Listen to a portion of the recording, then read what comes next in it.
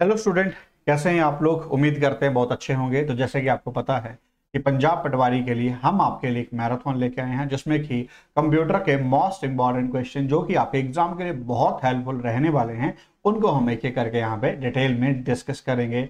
तो चलिए स्टार्ट करते हैं वेरी फ़र्स्ट क्वेश्चन से। और ये देखिए, आपके कंप्यूटर स्क्रीन के ऊपर पहला क्वेश्चन आ चुका है। अब अगर पहले आपको टॉपिक के नाम की बात करते हैं तो क्वेश्चन पढ़ना पड़ेगा। तो मैं क्वेश्चन से आपको ये बताता हूँ कि जो क्वेश्चन है, वो आपके पास कौन से टॉपिक से लिया गया है, ठीक है? सबसे पहले हम लोग यहाँ पे देखते हैं इस टॉपिक का नाम क्या है। ये जो टॉपिक है, वो है ऑपरेटिंग सिस्टम और मैंने ये क्वेश्चन जो ले रखा है, वो है ऑपरेटिंग सिस्टम से रखा है, जिसे कि आप लोग विंडोज़ के नाम से जानते हैं, जिसे कि आप लोग विंडोज़ के नाम से जानते हैं, ठीक है? अगर विंडोज़ नहीं होगा तो कोई भी काम आप लोग नहीं कर पाएँगे। अब सबसे पहले यहाँ पे ये समझिए, पूछा क्या गया है? Which of the following uses multiple CPUs for execution the many job concurrently? यहाँ पे ये पूछा गया है कि एक टाइम के ऊपर मल्टीपल जॉब एक टाइम के ऊपर मल्टीपल जॉब किस सीपीयू ऐसा कौन सा मल्टीपल सीपीयू जो है, वो एग्जीक्यूशन के लिए यूज़ करते हैं? ऐसे मल्टीपल सीपीयू जो हैं यूज़ करते हैं हम किसी भी जॉब को एग्जीक्यूट कराने के लिए तो उसे क्या बोला जाता है? Multitasking multiple programming multithreading and multiprocessing देखो, अगर मल्टीटास्किंग की बात करी जाए तो मल्टीटास्क का मतलब होता है कि एक टाइम के ऊपर मल्टीपल टास्क जो है परफॉर्म किया जाए सिंगल कंप्यूटर के थ्रू जैसे कि आप लोगों ने क्या कर दिया? एक तरफ़ सॉन्ग प्ले कर दिए, ठीक है? एक तरफ़ सॉन्ग क्या कर दिया? आपने प्ले कर दिए। और दूसरी तरफ़ अगर मैं बात यहाँ पे करता हूँ, इसके साथ में आप लोगों ने डाउनलोडिंग लगा दिया। और तीसरी साइड में आप लोगों ने, अगर मैं यहाँ पे बात करता हूँ तो आप लोगों ने बैकएंड पे या फिर आप एम एस वर्ड की फ़ाइल पे काम कर रहे हो। एम एस वर्ड की फ़ाइल पे अगर आप काम कर रहे हो तो एक टाइम पे मल्टीपल टास्क आप लोगों ने यहाँ पे क्या करना स्टार्ट कर दिए परफॉर्म कर दिए। एक टाइम के ऊपर मल्टीपल टास्क आप लोग क्या कर रहे हो परफॉर्म कर रहे हो, उसको क्या बोला जाता है मल्टीटास्किंग पर यहाँ पे तो ये हुआ ही नहीं है, यहाँ पे तो पूछा गया है कि use of multiple CPU multiple CPU से आप लोगों ने एग्जीक्यूशन करानी है तो ये तो आंसर नहीं बनेगा। मल्टी प्रोग्रामिंग तो मल्टी प्रोग्रामिंग में प्रोग्रामिंग की बात आती है तो यहाँ पे ये भी आंसर नहीं बनेगा ऑफली बात आपको क्लियर है। मल्टी थ्रेडिंग की अगर बात करता हूँ तो मल्टी थ्रेडिंग का मतलब क्या होता है कि बड़े टास्क को छोटे छोटे पार्ट्स में डिवाइड कर लिया जाए और उससे आगे आगे दिया जाए, ताकि हम उसे कम टाइम पे ज़्यादा एग्जीक्यूशन करवा पाए। तो मल्टी थ्रेडिंग में आंसर नहीं बनेगा। अब बचा क्या मल्टी प्रोसेसिंग अब देखो, नाम से ही पता चल रहा था कि मल्टीपल प्रोसेसेस जो हैं आपके पास चल रही हैं तो उसकी एग्जीक्यूशन जो करवानी है वो किससे करानी है आपके पास? या मैनी जॉब्स करेंटली मैनी का मतलब आप लोग समझ रहे हैं मैनी का मतलब है काफ़ी ज़्यादा। तो मैनी जॉब्स की अगर मैं बात करता हूँ तो यहाँ पे यही तो हुआ है कि एक टाइम पे मल्टीपल सीपीयू से मल्टीपल जो है जॉब्स आप लोग एग्जीक्यूट कराते हैं, उसको क्या बोला जाता है? मल्टी प्रोसेसिंग उसको क्या बोला जाता है? मल्टी प्रोसेसिंग यहाँ पे बोला जाता है। तो होपफुली बात आपको अच्छे से क्लियर हुई होगी। नेक्स्ट बात करते हैं अगला क्वेश्चन अगला जो क्वेश्चन है, वो आपके पास और भी ज़्यादा इंपॉर्टेंट है, ये लिया गया है इनपुट आउटपुट से। ये कहाँ से लिया गया है? इनपुट डिवाइसेस से आपके पास क्वेश्चन को लिया गया है। अगर इनपुट की बात करता हूँ तो इसमें इनपुट का काफ़ी चीज़ें आप लोगों को क्लियर होनी चाहिए। देखो इनपुट डिवाइसेस से क्वेश्चन है। अब यहाँ पे अगर मैं बात करता हूँ तो इनपुट डिवाइसेस में पूछा क्या गया है? Which of the following is not a point and draw अब मतलब यहाँ पे पूछा गया कि इनमें से कौन सा pointing device pointing input device नहीं है। पहले आप लोग ये समझिए पॉइंटिंग का मतलब क्या होता है? देखो, जब भी माउस को कभी उल्टा करके आप लोग रखते हैं, सबसे पहले अगर मैं बात करता हूँ पॉइंटिंग डिवाइस पॉइंटिंग डिवाइस का मतलब क्या होता है? ठीक है ना? अगर पॉइंटिंग डिवाइसेस की बेटा मैं बात करता हूँ तो माउस को अगर उल्टा करके देखेंगे तो यूँ कुछ आपके पास इस तरह के शेप होती है। टू में आपके पास इस तरीके से सिलेंड्रिकल शेप होती है। तो माउस को जब भी उल्टा करके, थोड़ा अच्छे से मैं इसको ड्रॉ करता हूँ यहाँ पे। देखिए, अगर माउस की मैं बात करता हूँ तो माउस को उल्टा करके आप लोग देखें तो यूँ करके एक सिलेंड्रिकल सी शेप बनी हुई होती है, जिसमें कि आपके पास पूरा का पूरा माउस कनेक्टेड होता है। अगर मैं यहाँ पे बात करता हूँ तो माउस को जब भी आप लोग माउस यहाँ पे रखते हैं पैड के ऊपर, ठीक है, या कहीं पे भी रखते हैं तो सबसे पहले क्या होता है पॉइंट क्रिएट होता है। सबसे पहले क्या होता है, एक पॉइंट क्रिएट होता है। फिर आप माउस को पकड़ के लेफ़्ट की तरफ़ राइट की तरफ़ टॉप या फिर बॉटम की तरफ़ घुमाते हैं तो उसका एक्शन मतलब एक इवेंट परफॉर्म हो रहा है। और लास्ट में जैसे ही राइट क्लिक आप लोग दबा देते हैं तो यूँ करके पूरा का पूरा ड्रॉप डाउन मेन्यू आपके पास डिस्प्ले हो जाता है मतलब एक्शन। मतलब एक एक्शन आपके पास परफॉर्म हो जाता है। तो होपफुली पहले ये पता चला कि पॉइंटिंग डिवाइस क्या है। इसी वजह से माउस को क्या बोला जाता है? पॉइंटिंग डिवाइस बोला जाता है। तो पॉइंट होना इवेंट होना और एक्शन होना, इसको क्या बोलते हैं? पॉइंटिंग डिवाइस अब यहाँ पे ये पूछा कि इनमें से कौन सा पॉइंटिंग डिवाइस नहीं है? इलेक्ट्रॉनिक पेन जो कि आप लोग डिजिटल सिग्नेचर में लाइसेंस अथॉरिटी में, ठीक है? डिजिटल सिग्नेचर में। आज की डेट में आप लोग इसका यूज़ करते तो वहाँ पे तो ये होता है तो मतलब ये तो आंसर नहीं बनेगा। अगला है जॉयस्टिक जो कि गेम्स में आप लोग यूज़ करते हैं। ठीक है? तो ये भी आंसर नहीं बनेगा, क्योंकि अपने आप में क्या है पॉइंटिंग डिवाइस है ट्रैक बोल ट्रैक बोल माउस को उल्टा करके देखेंगे तो ट्रैक बोल ही लगा हुआ है तो ये भी आंसर नहीं बनेगा। अगला फ्लैट बेड स्कैनर अब ये आंसर बनेगा, क्यों आंसर बनेगा? मैं इसके पीछे का कारण बताता हूँ। देखो स्कैनर नाम से ही वर्ड आपको पता होना चाहिए स्कैनर क्या काम करता है? ये एक तरीके से कॉपिंग करने का, ये क्या करता है? कॉपी करने का। ये किसी भी फ़ाइल को या किसी भी इमेज को एज सच डुप्लीकेट कॉपी में कन्वर्ट कर सकता है। कैसे? उसको पूरा का पूरा क्या करेगा? कॉपी करके अपने ऊपर ये स्टोर कर लेगा और वहाँ पे उसकी आउटपुट यहाँ पे प्रोवाइड करवा देगा। तो मतलब ये जो काम करता है, वो कॉपी करने का काम करता है। ये जो काम करता है, वो किसका काम करता है? कॉपी करने का काम करता है। तो ये कभी आंसर नहीं बनेगा। तो इसीलिए यही तो उसने पूछा था। अब इसके थ्रू उसने अपनी सारी की सारी नॉलेज यहाँ पे चेक कर लेनी है। एक करके आप लिख भी सकते हैं कौन कौन से। इसके अलावा आपके पास पॉइंटिंग डिवाइस है। सबसे पहला है माउस फिर अगला आप लोग लिख सकते हैं जोयस्टिक ठीक है? फिर है आपके पास लाइट पेन ठीक है? फिर आपके पास इलेक्ट्रॉनिक पेन ठीक है? फिर है आपके पास ट्रैक बोल ठीक है? फिर आपके पास अगर मैं बात करता हूँ टच पैड फिर आएगा टच स्क्रीन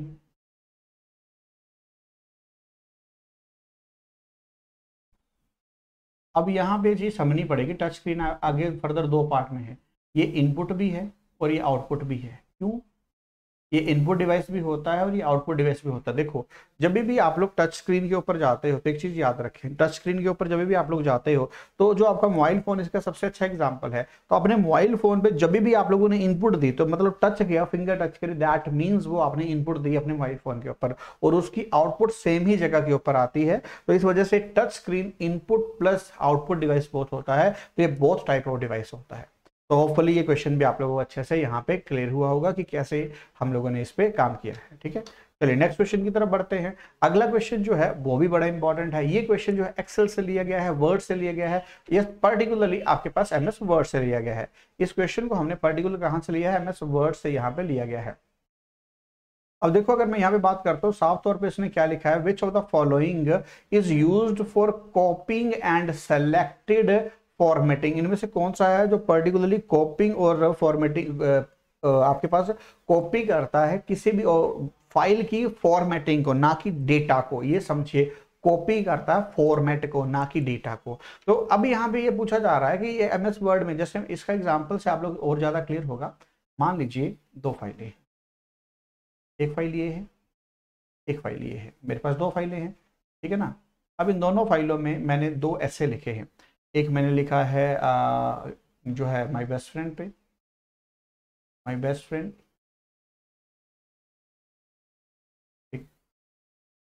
और दूसरा मैं लिखता हूँ द काव पे। दो ऐसे हैं। अब दोनों हम ऐसे जो है मैंने ऐसे ऐसे करके लिख दिए। अब पर मैंने देखा कि ये ऐसे जो है मेरे को ज़्यादा अच्छा लगा। ये माय बेस्ट फ्रेंड मेरे को लिखा हुआ बहुत अच्छा लगा। इस तो मैंने क्या किया? अब इसका कंटेंट अलग है, इसका कंटेंट अलग है। दोनों का कंटेंट तो अलग है, पर मैं चाहता हूँ कि दोनों का कंटेंट अलग रहे, पर फॉर्मेट दोनों का सेव हो जाए।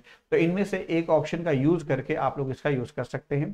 तो इनमें से कौन सा वो ऑप्शन है? तो ये याद रखना है control plus shift plus C control plus shift plus C ये किसके लिए होता है? कॉपिंग ऑफ़ फॉर्मेटिंग ये किसके लिए होता है?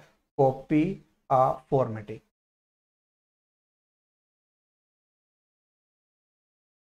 आपके टेक्स्ट के फॉर्मेट को ये कॉपी करता है, याद रखेंगे, ये टेक्स्ट के फॉर्मेट को कॉपी करता है डेटा डिफरेंट रहेगा, सिर्फ़ और सिर्फ़ फॉर्मेट कॉपी होगा। और कई बार आपसे पूछ लेता कि इसका पेस्ट का क्या रहेगा तो पेस्ट का बताएँगे control plus shift plus V ये पेस्टिंग का है। ठीक है? जैसे आप लोगों ने इसे यहाँ से कॉपी किया है ना तो इसको पेस्ट भी तो करना है इस जगह पे। तो जहाँ से पूरा सिलेक्ट करेंगे तो control plus shift plus V कर देंगे तो फॉर्मेट कॉपी हो जाएगा, ठीक है? तो इसका भी आपको पता होना चाहिए, क्योंकि एग्जामिनर का फेवरेट क्वेश्चन है, ठीक है? होपफुली बात आपको अच्छे से क्लियर है। डन चलिए, बढ़ते हैं नेक्स्ट क्वेश्चन की तरफ़। अगले क्वेश्चन की अगर मैं बात करता हूँ, अगले क्वेश्चन में क्या दे रखा है? अब देखिए which of the following is use to open the formula tab to insert trace and customize function and calculations in MS Excel. तो पहली बात तो आपको सबसे पहले ये पता चलेगा कि ये जो क्वेश्चन है पर्टिकुलर कहाँ से लिया गया है? M S Excel particular question कहाँ से लिया गया है? एम एस एक्सेल से। अभी डायरेक्ट क्वेश्चन पूछा गया है।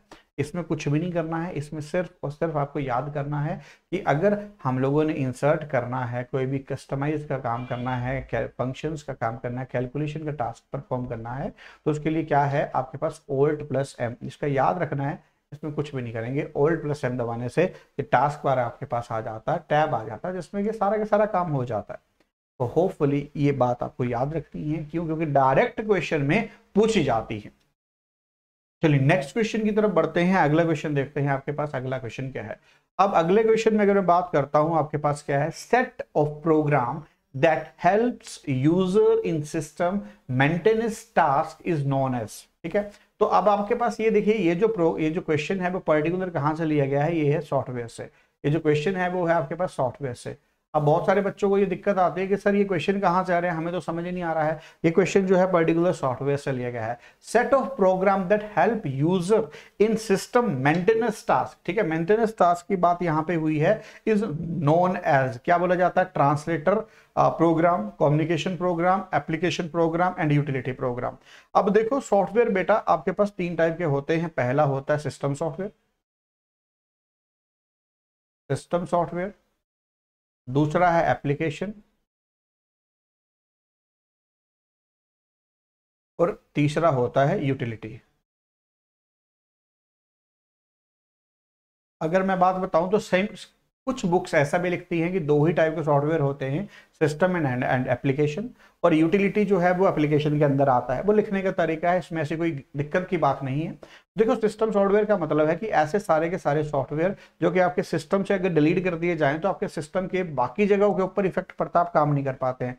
जैसे कि ऑपरेटिंग सिस्टम जैसे कि अगर मैं विंडोज़ को आपके सिस्टम से डिलीट कर दूँ तो पर्टिकुलरली आप सिस्टम पर कोई काम ही नहीं कर पाएँगे। मतलब ये तो नहीं होगा। अब यहाँ पे जो बात हुई है वो किस चीज़ की बात हुई है? इस चीज़ को समझते हैं। यहाँ पे हुआ है कि set program help user system maintenance the task is known as ठीक है? तो ये तो पर्टिकुलर ये बोल रहा है कि अगर मैं किसी पर्टिकुलर वैल्यू को डिलीट कर दो ना मिटा दूँ आपके सिस्टम से तो मेरे पास उसकी वर्किंग के ऊपर इफ़ेक्ट पड़ेगा। तो ये तो आंसर नहीं बनेगा।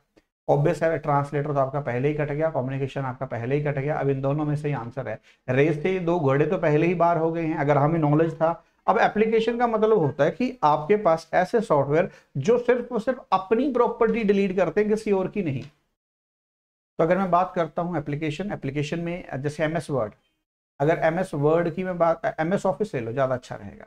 अगर एम एस ऑफ़िस लेते हैं, अगर एम एस ऑफ़िस को डिलीट भी कर देते हैं तो पर्टिकुलर उसकी खुद की प्रॉपर्टी इनहान आपके पास अफेक्ट होती है किसी और की नहीं। क्यों? बेटा, एक चीज़ समझो, अगर एम एस ऑफ़िस को डिलीट करता हूँ तो आपके सिस्टम से एम एस वर्ड पे काम नहीं कर पाएँगे एक्सेल पे काम नहीं कर पाएँगे। तो देखो, खुद की प्रॉपर्टी हार्म हुई, किसी और की का हार्म नहीं हुई। अब यूटिलिटी जो है यूटिलिटी का मीनिंग क्या होता है? यूटिलिटी वर्ड का मीनिंग होता है एनहांस एनहांस का मतलब होता है बढ़ाया जाए। तो यूटिलिटी मत का मतलब है कि आपके पास एनहांस किया जाए। तो अब देखो आंसर क्या बना? Set of program help user system to maintenance the task is known as utility program या फिर यूटिलिटी सॉफ्टवेयर जो आपके सिस्टम की स्पीड को बढ़ाने में आपकी हेल्प करते हैं। कौन कौन से होते हैं? एंटीवायरस एंटीवायरस अगर एंटीवायरस नहीं एंटीवायरस की अगर मैं बात करता हूँ तो पर्टिकुलरली आपके पास जो है रखा जा सकता है। ठीक है एंटीवायरस आप इसमें ही रखेंगे क्यों? क्योंकि आप खुद भी निकाल सकते हैं, पर एंटीवायरस तो काम बना, बनाया आपको कर देगा बैकअप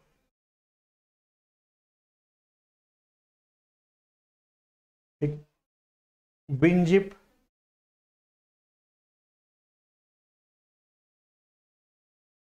विनरेयर ठीक है। आपके पास बिन जिप हो गया बिन रैर हो गया, ये पर्टिकुलरली यही काम करते हैं। अब कई बार पर्टिकुलर क्वेश्चन ये भी आ जाता है कि विनजिप और विन रैर आप लोग कहाँ पे यूज़ करते हैं? तो इन दोनों को कंप्रेशन टूल भी बोल देता है। बेटा, ये याद रखेंगे विनजिप और विनरैर क्या होते हैं? दो कंप्रेशन टूल होते हैं। ये किसी भी हैवी फ़ाइल को कंप्रेस कर देते हैं, छोटा कर देते हैं। तो ये याद रखेंगे कंप्रेशन टूल होते हैं। विनजिप और विनरैर क्या होते हैं? तो कंप्रेशन टूल होते हैं, जो किसी भी हैवी फ़ाइल को क्या करते हैं? कंप्रेस करके छोटा बना देते हैं, ताकि आगे आप उसका फर्दर यूज़ कर पाए। तो होपफुली बात आप लोगों को क्लियर है। ठीक है? चलिए, बढ़ते हैं नेक्स्ट क्वेश्चन की तरफ़। अगले क्वेश्चन में अगर मैं बात करता हूँ, अगले में क्या पूछा गया है? The term used to describe all the component of a computer. All the component का मतलब क्या है? जिसमें सॉफ्टवेयर भी आते हैं हार्डवेयर भी आते हैं, सारी चीज़ें। ठीक है? अब all the component में अपने आप में एक वर्ड है, जिसमें अगर मैं बात करता हूँ, all describe all the physical. Physical word का मीनिंग अगर आपको क्लियर है तो आप लोग आंसर कर पाएँगे। फ़िज़िकल का मतलब है जिसे टच किया जा सकता है। तो सॉफ्टवेयर को आप टच नहीं कर सकते हैं। शेयरवेयर को यूज़ नहीं कर सकते, फर्मवेयर को नहीं। तो आपके पास हार्डवेयर इसका जो है राइट आंसर बनेगा, जिसको कि टच भी आप लोग कर सकते हैं all the physical component of computer जो है फाइनल आंसर जो बनेगा that is your hardware answer बनेगा। ठीक है? तो होपफुली ये बात आप लोगों को यहाँ पे क्लियर है। ठीक है? करते हैं। बढ़ते हैं नेक्स्ट क्वेश्चन की तरफ़। अगला क्वेश्चन देखते हैं। अगले में क्या है आपके पास? The process of combining static information in publication together with variable information in a data source to create one merge publication is called अब सबसे पहले तो ये समझिए कि क्वेश्चन लिया कहाँ से गया है ये आपके पास क्वेश्चन जो है पर्टिकुलरली मेल मर्ज से लिया जाता है क्योंकि ये पब्लिकेशन का जो काम है आपके पास स्टैटिक डेटा को कंबाइन करने का या डेटा सोर्स का जहाँ पे भी बात होगा ना ये कुछ एक वर्ड्स होते हैं जिनके हमें पता चल जाता है पर्टिकुलरली डेटा सोर्सिंग हो जाए या आपके पास पब्लिकेशन हो जाए तो आप एक बात को माइंड में रखिएगा कि इसका आंसर क्या बनेगा? मेल मर्ज बनेगा। क्योंकि पर्टिकुलरली क्वेश्चन जो है, मेल मर्ज से लिया जाता है। और यहाँ पे लिखा भी हुआ है, साफ़ तौर पर merge word publication is called mail merge उसे बोला जाता है। मर्ज नहीं बोला जाएगा, उसे मेल मर्ज यहाँ पे बोला जाएगा, क्योंकि इस टाइप के क्वेश्चन आप लोगों से जब भी आते हैं तो हम फंस जाते हैं। अब बच्चों को अक्सर ये रहता है कि सर मेल मर्ज तो हमने पढ़ा नहीं है, ये तो आएगा नहीं क्वेश्चन देखो, सिंपल सी बात है, आज की डेट में सभी बच्चों का ईमेल आईडी है ना तो ये पता होना चाहिए। क्यों? क्योंकि कोई भी फॉर्म आपका बिना ईमेल के भरा ही नहीं जा सकता, वो स्पेसिफिकली आपका ईमेल आईडी मांगते हैं तो ये तो होना ही चाहिए तो इसलिए आपको ये पता होना चाहिए। ठीक है, आप याद रख सकते हैं, अगर नहीं कुछ ये होता है तो हम याद तो कर सकते हैं कि हाँ अच्छा ये आ जाए, आँख बंद करके आंसर मेल मर्ज करके आ जाओ, बात खत्म। ठीक है? मेल मर्ज का मीनिंग क्या होता है कि एक मैसेज एक टाइम पे मल्टीपल लोगों को सेंड करना है, जिसमें डिफरेंट डिफरेंट चीज़ें हम लोग क्या करते हैं? कंबाइन करते हैं, जोड़ते हैं। जैसे किसी को ग्रीटिंग सेंड करने पचास लोगों को तो ये मेल मर्ज के थ्रू आप कर सकते हैं। वो अलग बात है कि आज की डेट में हमारे पास मल्टीपल और तरीके हैं बट ये भी एक तरीका था तो इसलिए इसकी इंपॉर्टेंस भी यहाँ पे रहेगी। डन है जी? नेक्स्ट क्वेश्चन देखते हैं। ये क्वेश्चन अपने आप में आपकी पूरी की पूरी एग्जामिनर यहाँ से नॉलेज चेक कर रहा है कि इसमें क्या पूछा गया है। देखो जी क्लास अगर मैं बात करता हूँ विच ऑफ़ द फॉलोइंग इसमें क्वेश्चन में देखते हैं क्या पूछा गया है। Which of the following is not applicable in desktop compute publishing अब पहले आपको ये पता होना चाहिए डेस्कटॉप पब्लिशिंग क्या होता है? डेस्कटॉप पब्लिशिंग का मीनिंग पता होगा देन ही आप लोग यहाँ पे कर पाएँगे।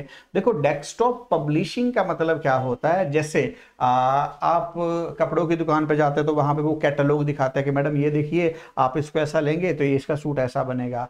आप किसी दुकान पे जाते हैं सर ये चेयर देखिए ऐसी है सर ये लैपटॉप देखिए ऐसे ऐसे ये फीचर है। तो मतलब वहाँ पे जहाँ पे सुंदर काम हो कैटलॉग का काम हो रिपोर्ट राइटिंग का काम हो, उस जगह पे आप लोग जो यूज़ करते हैं, वो इसका यूज़ करते हैं। तो मतलब रिपोर्ट राइटिंग में तो इसका यूज़ होता है, ये तो आंसर नहीं बनेगा। बुक कीपिंग जहाँ मेंटेनेंस का काम हो, वहाँ पे भी इसका होगा। Creating information and leaflet leaflet का मतलब पता क्या होता है? जैसे आप कहीं पे इंक्वायरी करने जाते हैं तो पर्टिकुलर एक पेज देते हैं जहाँ पे उनकी पूरी की पूरी इंफॉर्मेशन होती है, उसे ब्रोशर बोला जाता है। और लीफलेट जो होता है, जैसे आप एग्ज़ाम के बाहर निकलते हैं तो छोटे छोटे पेपर बिल्कुल बारीक से, जिसमें उनके एग्ज़ाम सेंटर या किसी भी चीज़ की इंफॉर्मेशन आपको प्रोवाइड करते हैं। या फिर जब सुबह न्यूज़पेपर आप लोग देखते हैं, उसके अंदर छोटे छोटे पेज रंगीन पेज आते हैं, वो जनरली वो लीफलेट्स होते हैं। क्यों? क्योंकि उसके अंदर आपके पास इंफॉर्मेशन होती है। तो डेस्कटॉप पब्लिशिंग का मतलब है कि ऐसी इन्फॉर्मेशन जो कि आपके पास लुहावनी हो, उसको बोला जाता है। तो ये सारा सारा काम यहाँ पे होगा। प्रेजेंटेशन प्रेजेंटेशन इसका आंसर बनेगा कि ये काम यहाँ पे नहीं होगा। ठीक है? इसका आंसर क्या बनेगा? सी ऑप्शन प्रेजेंटेशन क्योंकि प्रेजेंटेशन पर्टिकुलरली इसका काम नहीं है। ठीक है? तो होपफुली यहाँ पे ये बात आप लोगों को क्लियर है, क्योंकि बहुत से बच्चों को लगता है, सर प्रेजेंट ही तो कर रहे हैं। नहीं पर्टिकुलरली ये काम प्रेजेंटेशन का नहीं होता है। ये पीपीटी वगैरह में वर्ड में, आपके पास वर्ड बोल रहा हूँ सॉरी पावर पॉइंट में ये पर्टिकुलरली काम किया जाता है। तो होपफुली यहाँ पे ये बात आप लोगों को क्लियर है। ठीक है? चलिए नेक्स्ट अगला देखते हैं। नेक्स्ट क्वेश्चन है आपके पास। अगर इस क्वेश्चन की हम बात करते हैं, अगले क्वेश्चन में क्या है? Which with respect to Microsoft office what is the aim to crop a function crop का पहले मीनिंग समझते हैं। क्रॉप का मतलब क्या होता है? अगर क्रॉप की मैं बात करता हूँ, काटना। क्रॉप का मतलब क्या होता है? काटना। क्रॉप का मतलब होता है कटिंग करना, किसी भी चीज़ की। अगर मैं बात करता हूँ तो आप लोग देखिए, पहला लिखा है discard the grey part of a picture ठीक है? अगला increase the size of picture ये तो इंक्रीज तो कभी नहीं होगा। Delete the part of picture या फिर कंप्रेस कंप्रेस भी कभी नहीं होगा। अक्सर बच्चों को डाउट जो आता है इन दोनों पे होता है। देखो, डिस डिस्कार्ड तो ग्रे पार्ट का तो कोई मतलब ही नहीं है। अब आपके पास जैसे आप लोग यहाँ पे आंसर बनेगा correct option D C option delete the part of picture अब जैसे आप लोग इंटरनेट से कोई चीज़ उठाते हैं, उसे बोलते हैं ना क्रोप कर दो क्रोप कर दो, उसके जो एक्स्ट्रा पार्ट है उसे क्या कर दिया जाता है? डिलीट कर दिया जाता है। तो delete the part of picture ताकि आपकी इमेज जहाँ पे भी आप चाह रहे हैं अनवांटेड जो आपके पास स्पेस है, उसको क्या करना है डिलीट कर, या फिर कुछ और भी इस तरीके का। तो पर्टिकुलरली इसका काम जो होता है डिलीट करना होता है किसी भी पार्ट को। होपफुली आंसर आपके पास यहाँ पे क्या आएगा? सी ऑप्शन ठीक है? चलिए नेक्स्ट क्वेश्चन देखते हैं। नेक्स्ट क्वेश्चन में आपके पास क्या है? नेक्स्ट क्वेश्चन में आपके पास क्या है?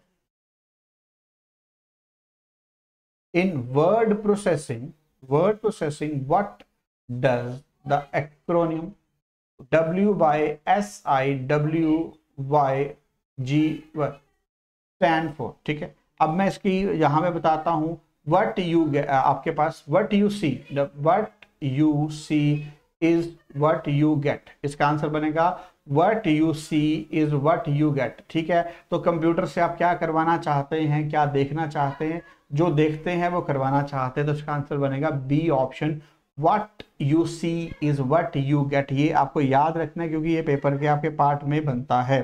ठीक है? होपफुली बात आपको क्लियर है। नेक्स्ट अगला है आपके पास यहाँ पे अ कॉन्फिडेंशियल फ़ाइल बड़ी इंपॉर्टेंट फ़ाइल जो है नीड्स टू बी डिलीट अगर आपके सिस्टम से उसे डिलीट करना चाहते हैं from a workstation having Windows operating system which is the most effective way to ensure this मतलब आप लोगों के पास एक बहुत इफ़ेक्टिव तरीका क्या है, जिसमें एक बहुत इंपॉर्टेंट फ़ाइल आपके सिस्टम पे पड़ी है, उसे आप वहाँ से डिलीट करना चाहते हैं। सबसे पहला तरीका बोला जा रहा है कि रीनेम द फ़ाइल उसे रीनेम कर दो। दूसरा तरीका बोला जा रहा है compress the file of backup उसे कंप्रेस कर दो, उसे इकट्ठा कर दो। दूसरा है आपके पास, तीसरा है मैं sorry copy and paste the file into recycle bin and empty the recycle bin और डी में क्या है? Drag the file into recycle bin and empty the आपके पास रिसाइकल बिन देखो, आपके पास रीनेम तो कोई सोल्यूशन नहीं होगा। अगर मैं बात करता हूँ, आपके पास रीनेम तो कभी आंसर नहीं हो सकता। कंप्रेस करना उसका कभी आंसर नहीं हो सकता। अगर कॉपी एंड पेस्ट करते हैं तो कॉपी तो करने का फ़ायदा होगा ही कुछ नहीं। कॉपी का मतलब क्या है? कॉपी जब भी आप किसी भी चीज़ को करते हैं तो उसकी डुप्लीकेट इमेज बनती है। तो इसको डिलीट करने का फ़ायदा ही नहीं होगा। ये आंसर तो कभी नहीं हो सकता। तो इसका मतलब है कि ड्रैग ड्रैग का मतलब होता है कि उठा के उसे कहाँ रखें? रिसाइकल बिन में। और पर्टिकुलरली रिसाइकल बिन को भी आप लोग क्या कर दें? डिलीट कर दें। आप पर्टिकुलरली क्या करें? उठा के ड्रैग ड्रैग का मतलब होता है एक पर्टिकुलर प्लेस से उठाना है किसी वैल्यू को और दूसरी प्लेस पे रखना और उससे डिलीट कर देना। तो जनरली आपका इसका आंसर क्या बनेगा? D option drag the file into recycle bin and empty the recycle bin तो इसके अभी आपको यहाँ पे फ़ायदा मिलेगा। सबसे इफ़ेक्टिव तरीका जो है वो यही बनेगा। डी होपफुली ये बात आप लोगों को क्लियर है, ठीक है? नेक्स्ट अगला क्वेश्चन क्या है आपके पास? इस क्वेश्चन में देखते हैं।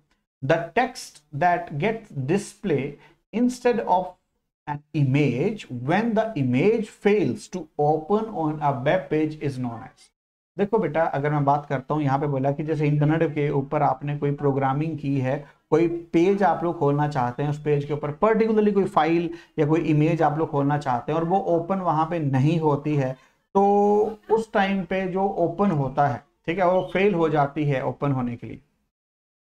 ठीक है? इमेज जो है fails to open on a web page is known as alternative text auto text linked text और आपके पास सोर्स इमेज अगर मैं बात करता हूँ तो इसका क्या रहेगा? देखो, आपने इमेज जो है फेल हो जाती है। तो प्रोग्रामर जो करते हैं, वो एक चीज़ करते हैं कि अगर कोई चीज़ पर्टिकुलरली ओपन नहीं हो रही है, अगर कोई चीज़ पर्टिकुलरली ओपन नहीं हो रही है तो मैं कुछ ना कुछ ऑल्टरनेट मैटर दूँगा। तो मैं क्या करता हूँ, वहाँ पे लिखवा देता हूँ एरर 404 आपने देखा होगा कि कोई चीज़ आप लोग डाउनलोड कर रहे हैं अपलोड कर रहे हैं, या कोई ओपन कर रहे हैं, वो ओपन नहीं हो रही है तो वहाँ पे एरर लिखा हुआ जाता है एरर 404 तो इसका आंसर क्या बनेगा? ऑल्टरनेटिव टेक्स्ट मतलब आपने वहाँ पे कुछ ना कुछ लिखवाया होता है। तो ऑल्टरनेटिव टेक्स्ट इसको बोला जाता है कि अच्छा मेरी ये इमेज ओपन नहीं हुई तो वहाँ पे लिखा हुआ था एरर फोर वो ये होता है। तो कि आपके पास कुछ समस्या है आप देख लीजिए ठीक है? होपफुली बात आपको क्लियर है। नेक्स्ट अगर मैं बात करता हूँ अगले क्वेश्चन में क्या है? uh, अगला क्वेश्चन है which of the statement is correct इनमें से कौन सी स्टेटमेंट करेक्ट है? सबसे पहले ये क्वेश्चन तो एम एस एक्सेल से है, जो कि आपको दिख भी रहा है। इसमें क्या है? An Excel spreadsheet may contain only one P table एक नहीं होता, एक से ज़्यादा भी होते हैं, पहली बार अगला है an Excel worksheet may contain only one pivot table one only तो होता ही नहीं है। आगे आपके पास यहाँ पे क्या है?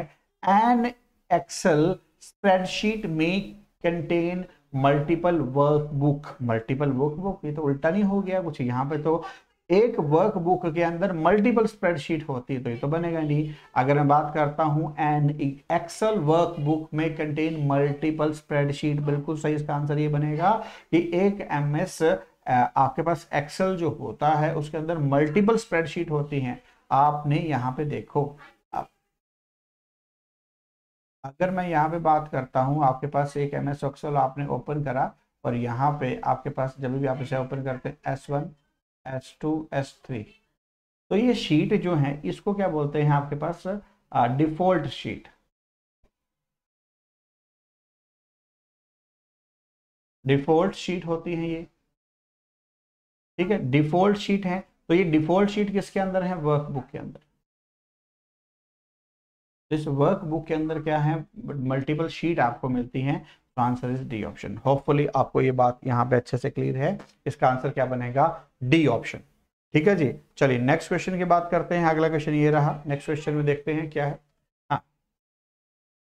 Which of the following statement is true regarding to the website अब वेबसाइट के रिगार्डिंग इनमें से कौन सी इन्फॉर्मेशन जो है वो ट्रू है वो देखते हैं। सबसे पहले पी इंफॉर्मेशन में क्या लिखा है, ये चेक करते हैं। पी इंफॉर्मेशन में a blog is a website that contain of that consist of post and revise chronological order हाँ बिल्कुल सही है, पहली बात तो। अगला है क्यों a wiki is a website that is designed to allocate people to collect and uh, collaborate and easily. Wiki का मतलब है विकीपीडिया विकीपीडिया एक वेबसाइट है जिसके ऊपर आप लोग बहुत सारे लोग कोलैबोरेट कर सकते हैं इजीली तो दोनों ही यहाँ पे बात बिल्कुल सही होती हैं. ए बी मतलब पी बी और क्यू बी तो आंसर क्या बनेगा? सी ऑप्शन आंसर क्या बनेगा? सी ऑप्शन जो कि दोनों की दोनों यहाँ पे क्या है? सी सही है. B C option both P and Q are true ठीक है? नेक्स्ट देखते हैं अगले क्वेश्चन में। नेक्स्ट क्वेश्चन में अगर मैं बात करता हूँ, अगले क्वेश्चन में आप देखते हैं क्या है? The content of most of RAM are dash thus making them unsuitable for a long term data storage सबसे पहले क्या, अगर मैं यहाँ पे बात करते हैं। The content of most form of RAM are dash volatile, thus making the unsuitable for long term of the data storage. तो वोलेटाइल मेमोरी आपके पास होती है नॉन वोलेटाइल का मतलब क्या होता है? परमानेंट ठीक है? अब रैम के एक बात याद रखेंगे, जब भी रैम आता है ना, जहाँ पे भी वर्ड रैम आ जाता है रैम का मतलब ही होता है वोलेटाइल अगला है रोम रोम का मतलब होता है नॉन वोलेटाइल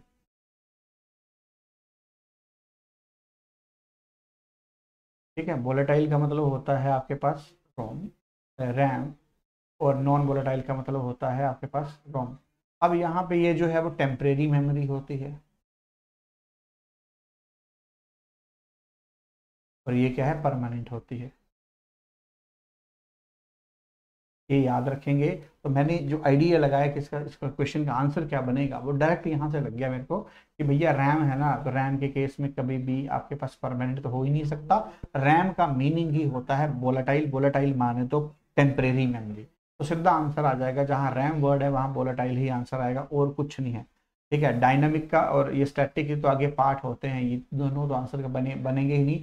फ्रेगमेंट का मतलब होता है पार्ट्स में डिवाइड करना, ठीक है ना? तो ये भी आंसर नहीं बनेगा। सीधा आंसर जहाँ पे रैम वर्ड है बोलेटाइल ही आंसर बनता है। होपफुली आप लोगों को यहाँ पे बात अच्छे से और भी क्लियर हुई होगी। चलिए नेक्स्ट क्वेश्चन की बात करते हैं। अगला क्वेश्चन क्या है आपके पास? नेक्स्ट क्वेश्चन देखते हैं। नेक्स्ट क्वेश्चन में क्या है? The process of copying file to C D is known as जो आपके पास सी डी को आप जब भी कॉपी करते हैं जो आप लोग सीडी को आप लोग जब भी क्या करते हैं कॉपी करते हैं, उस प्रोसेस को क्या बोला जाता है? बर्निंग बोला जाता है कॉपिंग बोला जाता है और स्टोरिंग बोला जाता है या पेस्टिंग तो पेस्टिंग तो बनेगा नहीं कॉपिंग बनेगा नहीं शॉर्ट स्टोरिंग बनेगा नहीं, इसका आंसर होता है बर्न करना। आपने बचपन में सुना होगा कि ये सीडी को बंद करके इसमें गाने डाले जा सकते हैं। हम सोचते थे जलाना नहीं जलाना नहीं होता है। जो प्रोसेस होता है ना, एक सिस्टम से सीडी के ऊपर गाने डालने का, उसको ही बोला जाता है बर्न करना बर्निंग करना। होपफुली आपको बात यहाँ पे क्लियर है। तो आंसर क्या बनेगा? ए नेक्स्ट क्वेश्चन की बात करते हैं। अगला क्वेश्चन क्या which one of the following pair least match in respect of computer अब यहाँ पे पहले पूछा है आपके पास लीस्ट मैच कम से कम मैच तो अगर मैं बात करता हूँ आपके पास C R T least C R T cathode ray tube ROM आपके पास rapid only memory CPU central processing unit ये तो आंसर बन ही नहीं सकता. क्यों? क्योंकि ये तो पूरा मैच कर रहा है. अगर मैं बात करता हूँ कैथोड रे ट्यूब, ये भी पूरा आंसर बन रहा है। वन जी कितने के बराबर होता है? One zero two four, one zero two four, one zero two four into eight. तो ये सारे आंसर हो सकते हैं। पर ध्यान दो बेटा, यहाँ पे पूछा है लीस्ट मैच। लीस्ट का मतलब होता है कम से कम। रोम का जो फुल फॉर्म होता है, रीड ओनली मेमोरी होता है। Read only memory. ठीक है? रीड ओनली मेमोरी आपके पास इसका जो आंसर बनेगा आंसर क्या बनेगा? सी ऑप्शन आंसर क्या बनेगा? सी ऑप्शन जो कि सबसे कम से कम मैच आपके पास कर रहा है। होपफुली ये बात आप लोगों को यहाँ पे क्लियर हुई होगी। चलिए नेक्स्ट क्वेश्चन की बात करते हैं। अगला क्वेश्चन ये रहा। अगले क्वेश्चन में देखते हैं। आइडेंटिफाई द कोरेक्ट ऑर्डर और of the following storage devices based on storage capacity from lowest to highest अब यहाँ पे आपसे पूछा गया कि कम से कम लोवेस्ट से चलते हुए हाईएस्ट की तरफ़ बढ़ना है। लोवेस्ट से चलते हुए हाईएस्ट की तरफ़ बढ़ना है। अगर लोवेस्ट की मैं बात करता हूँ, सबसे पहले है सीडी फिर है ब्लू रे डिस्क फिर है डीबीडी रोम अगर सबसे पहले बात करी जाए तो सबसे पहले क्या आएगा? सीडी आएगा। सीडी की अप्रोक्सीमेट साइज़ की अगर मैं बात करता हूँ, हम लोग मानते हैं सेवन तक एमबी तक मानते हैं, ठीक है? अगला है डीबीडी की अगर बात करता हूँ तो डीबीडी अलग अलग तरीके से होता है। डीबीडी की अलग अलग होती है। आप मान के चलिए 17.08 जीबी तक ये मैक्सिमम हो सकता है और ब्लू रे डिस्क ब्लू रे डिस्क ठीक है? ब्लू रे डिस्क की अगर मैं बात करता हूँ तो ये आपके पास 25 जीबी से स्टार्ट होके पचास जीबी तक होता है। पचास जीबी तक ये आपके पास होती है। ट्वेंटी फाइव जीबी से लेके पचास जीबी तक होती है। तो that is your correct sequence अब आपके पास यहाँ पे क्या है? पी बन गया। पी के बाद आपके पास यहाँ पे आर बन गया। आर के बाद यहाँ पे क्या बन गया? P R Q P R Q P R Q D option is the right answer बनेगा। तो होपफुली बात आप लोगों को और भी अच्छे से यहाँ पे क्लियर हुई होगी कि किस तरीके से यहाँ पे आंसर देते हैं। ठीक है? चलिए नेक्स्ट क्वेश्चन की अगर मैं बात करता हूँ तो ये रहा नेक्स्ट क्वेश्चन आपके पास। अगला क्वेश्चन देखते हैं, अगले क्वेश्चन में इसमें क्या बोला गया ये बहुत बहुत और बहुत ज़्यादा इंपॉर्टेंट क्वेश्चन है। अक्सर बच्चे इस क्वेश्चन का मीनिंग नहीं समझ पाते हैं कि ये क्या पूछा गया है। अब देखिए इस क्वेश्चन में क्या पूछा गया है। आपके पास while sending an email to a differentiate among CC and BCC field which one of the following statement is पहले तो ये समझो कि सीसी का फुल फॉर्म क्या होता है। सीसी का फुल फॉर्म होता है carbon copy CC means carbon copy. And BCC stand for BCC stand for blind carbon copy. ठीक है ब्लाइंड कार्बन कॉपी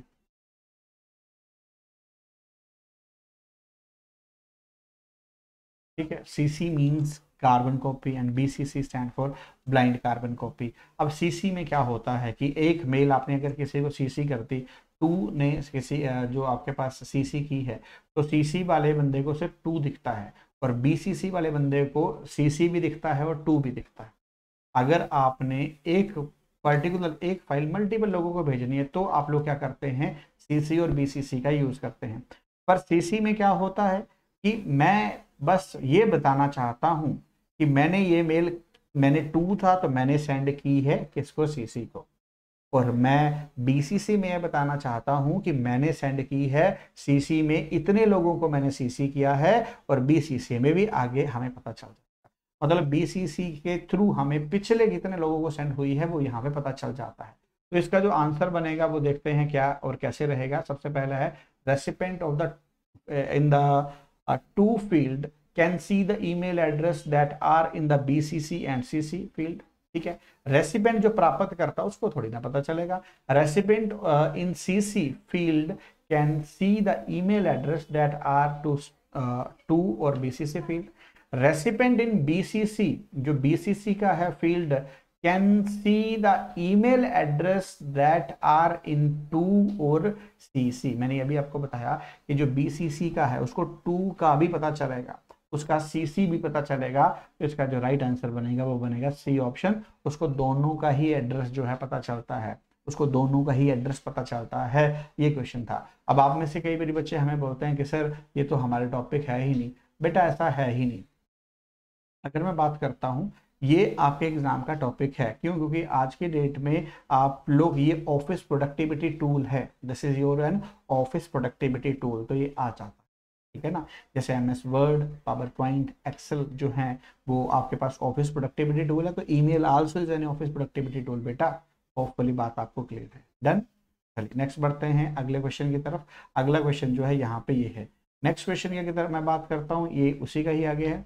अब इसके आगे यहाँ पे देखते हैं रितुस टीच आपके पास teacher use V L E a software tool design to deliver course online at acronym B L E देखो आपके पास यहाँ पे अगर मैं बात करता हूँ इसका आंसर क्या बनेगा?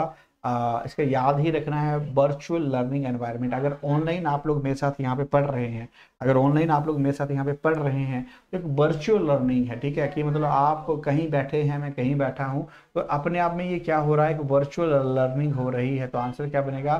वर्चुअल लर्निंग एनवायरनमेंट आंसर क्या बनेगा? Virtual learning environment C option ठीक है? चलिए नेक्स्ट क्वेश्चन की बात करते हैं, अगला क्वेश्चन देखते हैं, अगले क्वेश्चन में क्या है?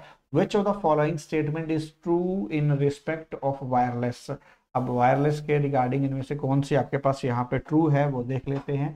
सबसे पहले क्या लिखा हुआ है? Bluetooth is a wireless technology which can be use to connect the headset of a mobile phone हाँ बिल्कुल सही है भाई, छोटे उसके लिए हम यूज़ करते हैं। Bluetooth is a long range ये गड़बड़ होगी लॉन्ग रेंज वर्ड लिखा हुआ है।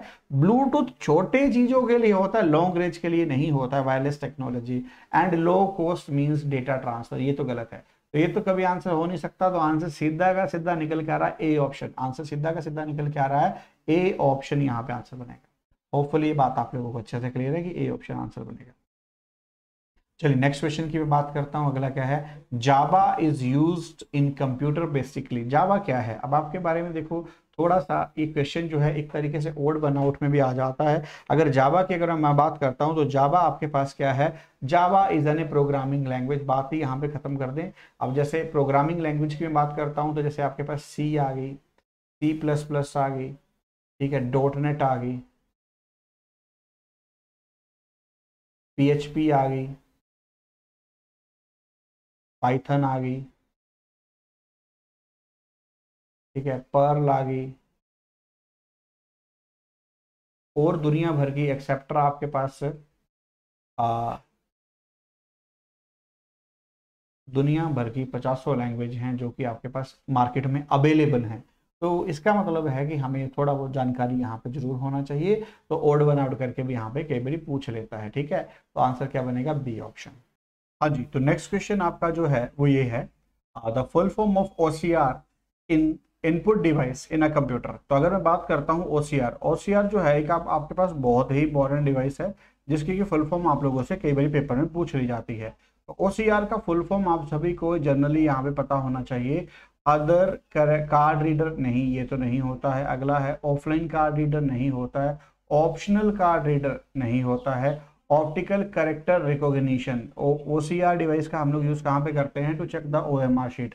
जो ओ एम आर शीट होते हैं, उसको चेक करने के लिए आप किसका यूज़ करते हैं? इस ओ सी आर डिवाइस के थ्रू आप लोग यहाँ पे चेक करते हैं तो इसका आंसर क्या बनेगा? बी ऑप्शन ठीक है जी? चलिए।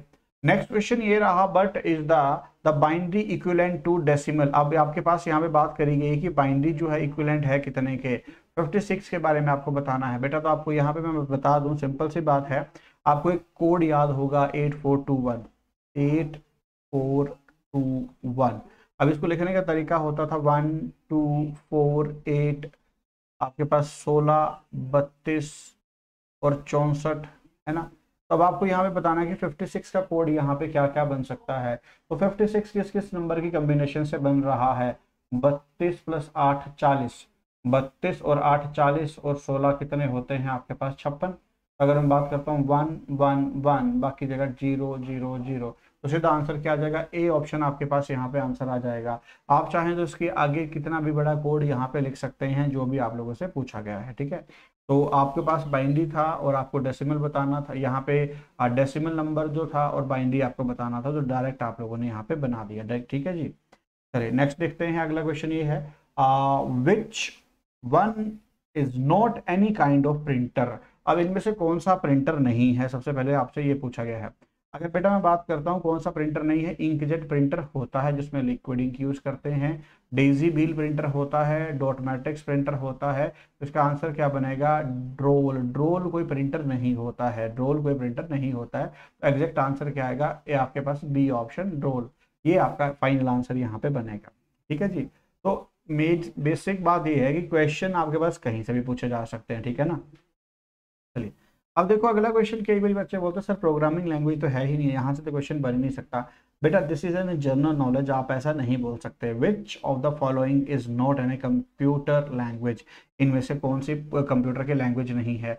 अगर मैं बात करता हूँ तो आप लोग सारे जानते हैं, सबसे पहले कोबोल जो होती है, वो लैंग्वेज होती है। फोट्रोन जो है लैंग्वेज होती है। टी प्लस प्लस लैंग्वेज होती है, पर O O P A T कोई लैंग्वेज नहीं है। तो फाइनल आंसर जो है, वो इसका डी ऑप्शन है। अब कई बार यहाँ से आपसे पूछ लिया जाता है, बड़े तो full form of COBOL COBOL का फुल फॉर्म होता है common oh common business oriented language और फोर्ट्रन का होता है फॉर्मूला ट्रांसलेशन फोर्ट्रन का होता है फॉर्मूला ट्रांसलेशन याद रखिएगा कोबोल मतलब common business oriented language and FORTRAN का होता है फॉर्मूला ट्रांसलेशन सी और सी प्लस प्लस लैंग्वेज होती है, पर ओ पी ए टी कोई लैंग्वेज नहीं होती है। So answer is D option so answer is D option hopefully बात आपको क्लियर है। चलिए नेक्स्ट क्वेश्चन देखते हैं आपके पास पेन ड्राइव अगर पेन ड्राइव की मैं बात करता हूँ तो पेन ड्राइव क्या है आपके पास? Pen drive used in a computer is software device है। आपके पास देखो, सॉफ्टवेयर है सेंट्रल पर सीपीयू है, स्टोरेज डिवाइस है या फिर असेंबलर है। अगर मैं बात करता हूँ तो पेन ड्राइव को आप लोग स्टोरेज डिवाइस की तरह यूज़ करते हैं। ठीक है, कैसे यूज़ करते हैं? एज एन स्टोरेज डिवाइस की तरह यूज़ करते हैं। सॉफ्टवेयर थोड़ी ना होता तो ये भी आंसर नहीं होगा, सीपीयू भी नहीं होगा, ये भी नहीं होगा। आपके पास आंसर क्या होगा? स्टोरेज डिवाइस यहाँ पे आंसर बनेगा। तो होपफुली आप लोगों को यहाँ पे बात जो है, अच्छे से यहाँ पे क्लियर हुई होगी कि इसका आंसर क्या बनेगा? स्टोरेज डिवाइस यहाँ पे बनना है। ठीक है, चलिए, आगे चलते हैं नेक्स्ट क्वेश्चन की तरफ़। अगला क्वेश्चन क्या है? Which one is not an output device इनमें से कौन सा आउटपुट डिवाइस नहीं है? अगर मैं बात करता हूँ मॉनिटर आपको पता है आउटपुट डिवाइस है। अगर मैं यहाँ पे बात करता हूँ, आपके पास प्रिंटर ये भी आउटपुट डिवाइस है। आगे बात करते हैं प्लोटर ये भी आउटपुट डिवाइस है। अगर मैं यहाँ पे बात करता हूँ लाइट पेन की तो लाइट पेन तो एक इनपुट डिवाइस होता है तो आंसर तो यही बनेगा ना डी ऑप्शन अब यहाँ पे एक साथ में आपका बहुत सा नॉलेज चेक किया जा रहा है कि इनपुट का भी आपको पता है और आउटपुट का भी आपको पता है कि नहीं है। एक ही साथ में आपके पास आउटपुट यहाँ पे लिया जा रहा है। तो आउटपुट क्या होती है आपके पास स्क्रीन मोनिटर क्या होता है स्क्रीन ठीक है ना? और प्रिंटर क्या होता है? आपके पास प्रिंट आउट आते हैं इससे। ठीक है ना? प्रिंट आउट आते हैं। और अगर मैं बात करता हूँ प्लोटर से तो इसके फ्लैक्स आते हैं। तो ओ, सारे के सारे आउटपुट हैं पर फ्लैग आपके पास आ, लाइट पेन जो है आपके पास आउटपुट नहीं है। डन होपफुली बात आपको क्लियर है। चलिए नेक्स्ट क्वेश्चन की तरफ़ बढ़ते हैं। अगला क्वेश्चन देखते हैं। नेक्स्ट क्वेश्चन में आपके पास क्या दे रखा है? Popular operating system, window 10 is a product of, ठीक है? तो ये आपके पास किसका है? गूगल का है, माइक्रोसॉफ्ट का है, सन Microsoft micro system.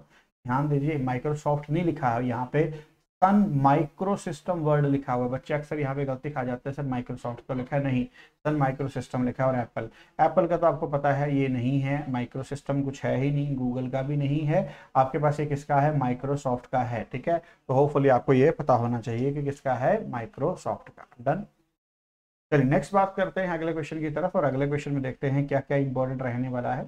Which of the following is the most expensive storage of computer in term of two 56 GB capacity देखो आज के डेट में सबसे पहले आप लोग जो थे C D D V D use किया करते थे उससे पहले आप लोग कैसेट यूज़ किया करते थे। आज आप इन, चीज़ों का यूज़ नहीं कर रहे हैं। तो अगर मैं बात करता हूँ तो आपके पास फ्लॉपी डिस्क इसका आंसर बनेगा नहीं पेन ड्राइव की आपके पास है नहीं। हार्ड डिस्क आज की डेट में रिप्लेस कर दिया किसके थ्रू एसएसडी के थ्रू तो ये एसएसडी बहुत ही ज़्यादा इंपॉर्टेंट है इसका आंसर रहेगा एसएसडी इसका फुल फॉर्म होता है सॉलिड स्टेट ड्राइव इसका फुल फॉर्म आप लोग याद रखेंगे, बहुत से आगे आपके पास काम आने वाला है, इसका जो क्वेश्चन है वो पूछा जाता है।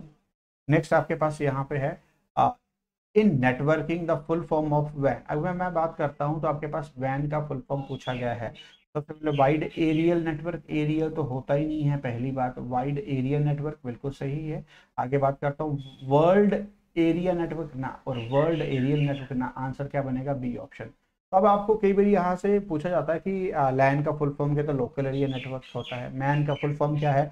मेट्रोपोलिटन एरिया नेटवर्क तो इतनी इतनी चीज़ें भी आप लोग यहाँ पे स्किप नहीं कर सकते, जो कि आपको लगता है कि सर, बिल्कुल सिंपल है, ये तो पूछेगा नहीं, पर वो पूछ सकता है, हम कभी ऐसा नहीं बोल सकते। नेक्स्ट क्वेश्चन बात करते हैं, अगला क्वेश्चन क्या है आपके पास? अगर अगले क्वेश्चन की बात करता हूँ this is not any kind of number system अगर नंबर सिस्टम की मैं बात करता हूँ, सबसे पहले आता है बाइनरी सबसे पहले आपके पास नंबर सिस्टम में आता है बाइनरी नंबर बाइनरी की अगर बेस वैल्यू की बात करता हूँ तो टू होती है, फिर आता है ओक्टल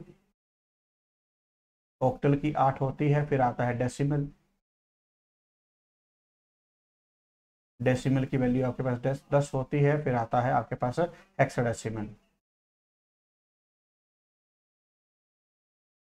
अगर मैं बात करता हूँ तो आपको पता है कि इसकी वैल्यू 16 होती है तो एक ही आंसर निकल के आ रहा है that is B D option bool ऐसा कोई नंबर नहीं होता है so final answer is D option bool hopefully बात आपको क्लियर है। चलिए बढ़ते हैं नेक्स्ट क्वेश्चन की तरफ़। अब यहाँ पे देखो एक क्वेश्चन है this is one not a valid email ID, इनमें से कौन सा वैलिड ईमेल आईडी नहीं है। अगर मैं बात करता हूँ, सबसे पहले वैलिड ईमेल आईडी के लिए आपको क्या चाहिए होता है? एक यूज़र नेम चाहिए होता है और एक आपके पास डोमेन नेम चाहिए होता है। तो अगर मैं इसी में डिस्टिंग्विश कर दूँ, देखो आंसर बनेगा ए ऑप्शन। ए ऑप्शन जो है, वो कभी भी आपका आंसर वैलिड ईमेल नहीं है। अब देखो, जब भी आप लोग करते हो, जैसे मैं बात करता हूँ आशीष। ठीक है, मैंने अपना लिखा आशीष मेहरा। ठीक है। At the rate G mail dot com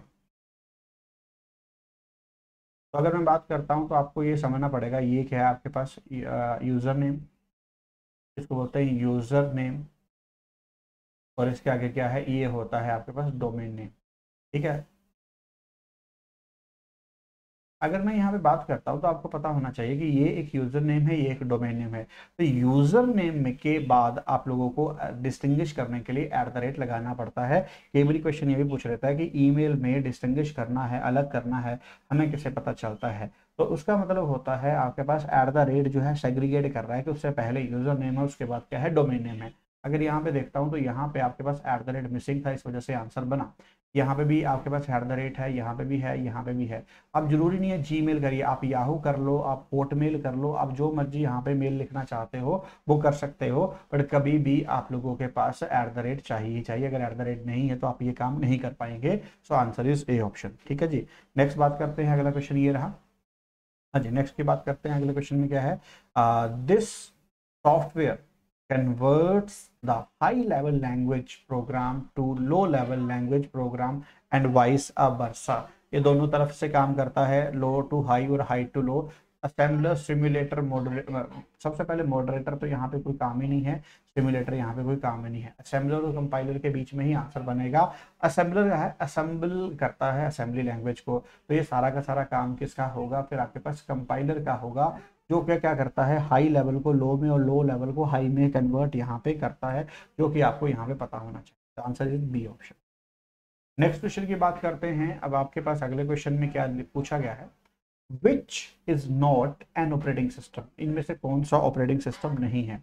अगर मैं बात करता हूँ आपके पास क्रोम क्रोम का खुद का ऑपरेटिंग सिस्टम है सोलारस ऑपरेटिंग सिस्टम है फेडोरा ऑपरेटिंग सिस्टम है, इसका आंसर बनेगा बी ऑप्शन यहाँ पे आपके पास सेवन भी आ सकता है विंडो एट भी आ सकता है विंडो टेन भी आ सकता है लिनिक्स भी आ सकता है यूनिक्स भी आ सकता है, ठीक है? फेडोरा भी आ सकता है सोलारस भी आ सकता है रेड हैट भी ऑपरेटिंग सिस्टम है, ठीक है? रेड हैट भी ऑपरेटिंग सिस्टम है। माइक्रोसॉफ्ट एक कंपनी है जो कि ऑपरेटिंग सिस्टम बनाती है, पर माइक्रोसॉफ्ट ऑपरेटिंग सिस्टम नहीं है। उनके जो ऑपरेटिंग सिस्टम है window seven window eight window ten है, पर माइक्रोसॉफ्ट एक कंपनी है, ना कि विंडो तो इस वजह से आंसर क्या बनेगा? बी ऑप्शन इस वजह से आंसर क्या बनेगा? बी ऑप्शन आपके पास बनने वाला है। अब देखो, ये क्वेश्चन आपने मेरे साथ पहले भी डिस्कस कर चुके हैं कि but is the full form of S मतलब डायरेक्ट क्वेश्चन वहाँ पे था नहीं। वहाँ पे ये पूछा गया था कि S S D two fifty six G B का अगर आपके पास कंप्यूटर है तो उसे रिप्लेस कैसे, किसके थ्रू किया जाएगा? अब अगर मैं यहाँ पे बात करता हूँ, यहाँ पे क्वेश्चन पूछा गया but is the full form of S S D ऐसा मैं आपको पहले बता भी चुका हूँ कि इसका फुल फॉर्म क्या था?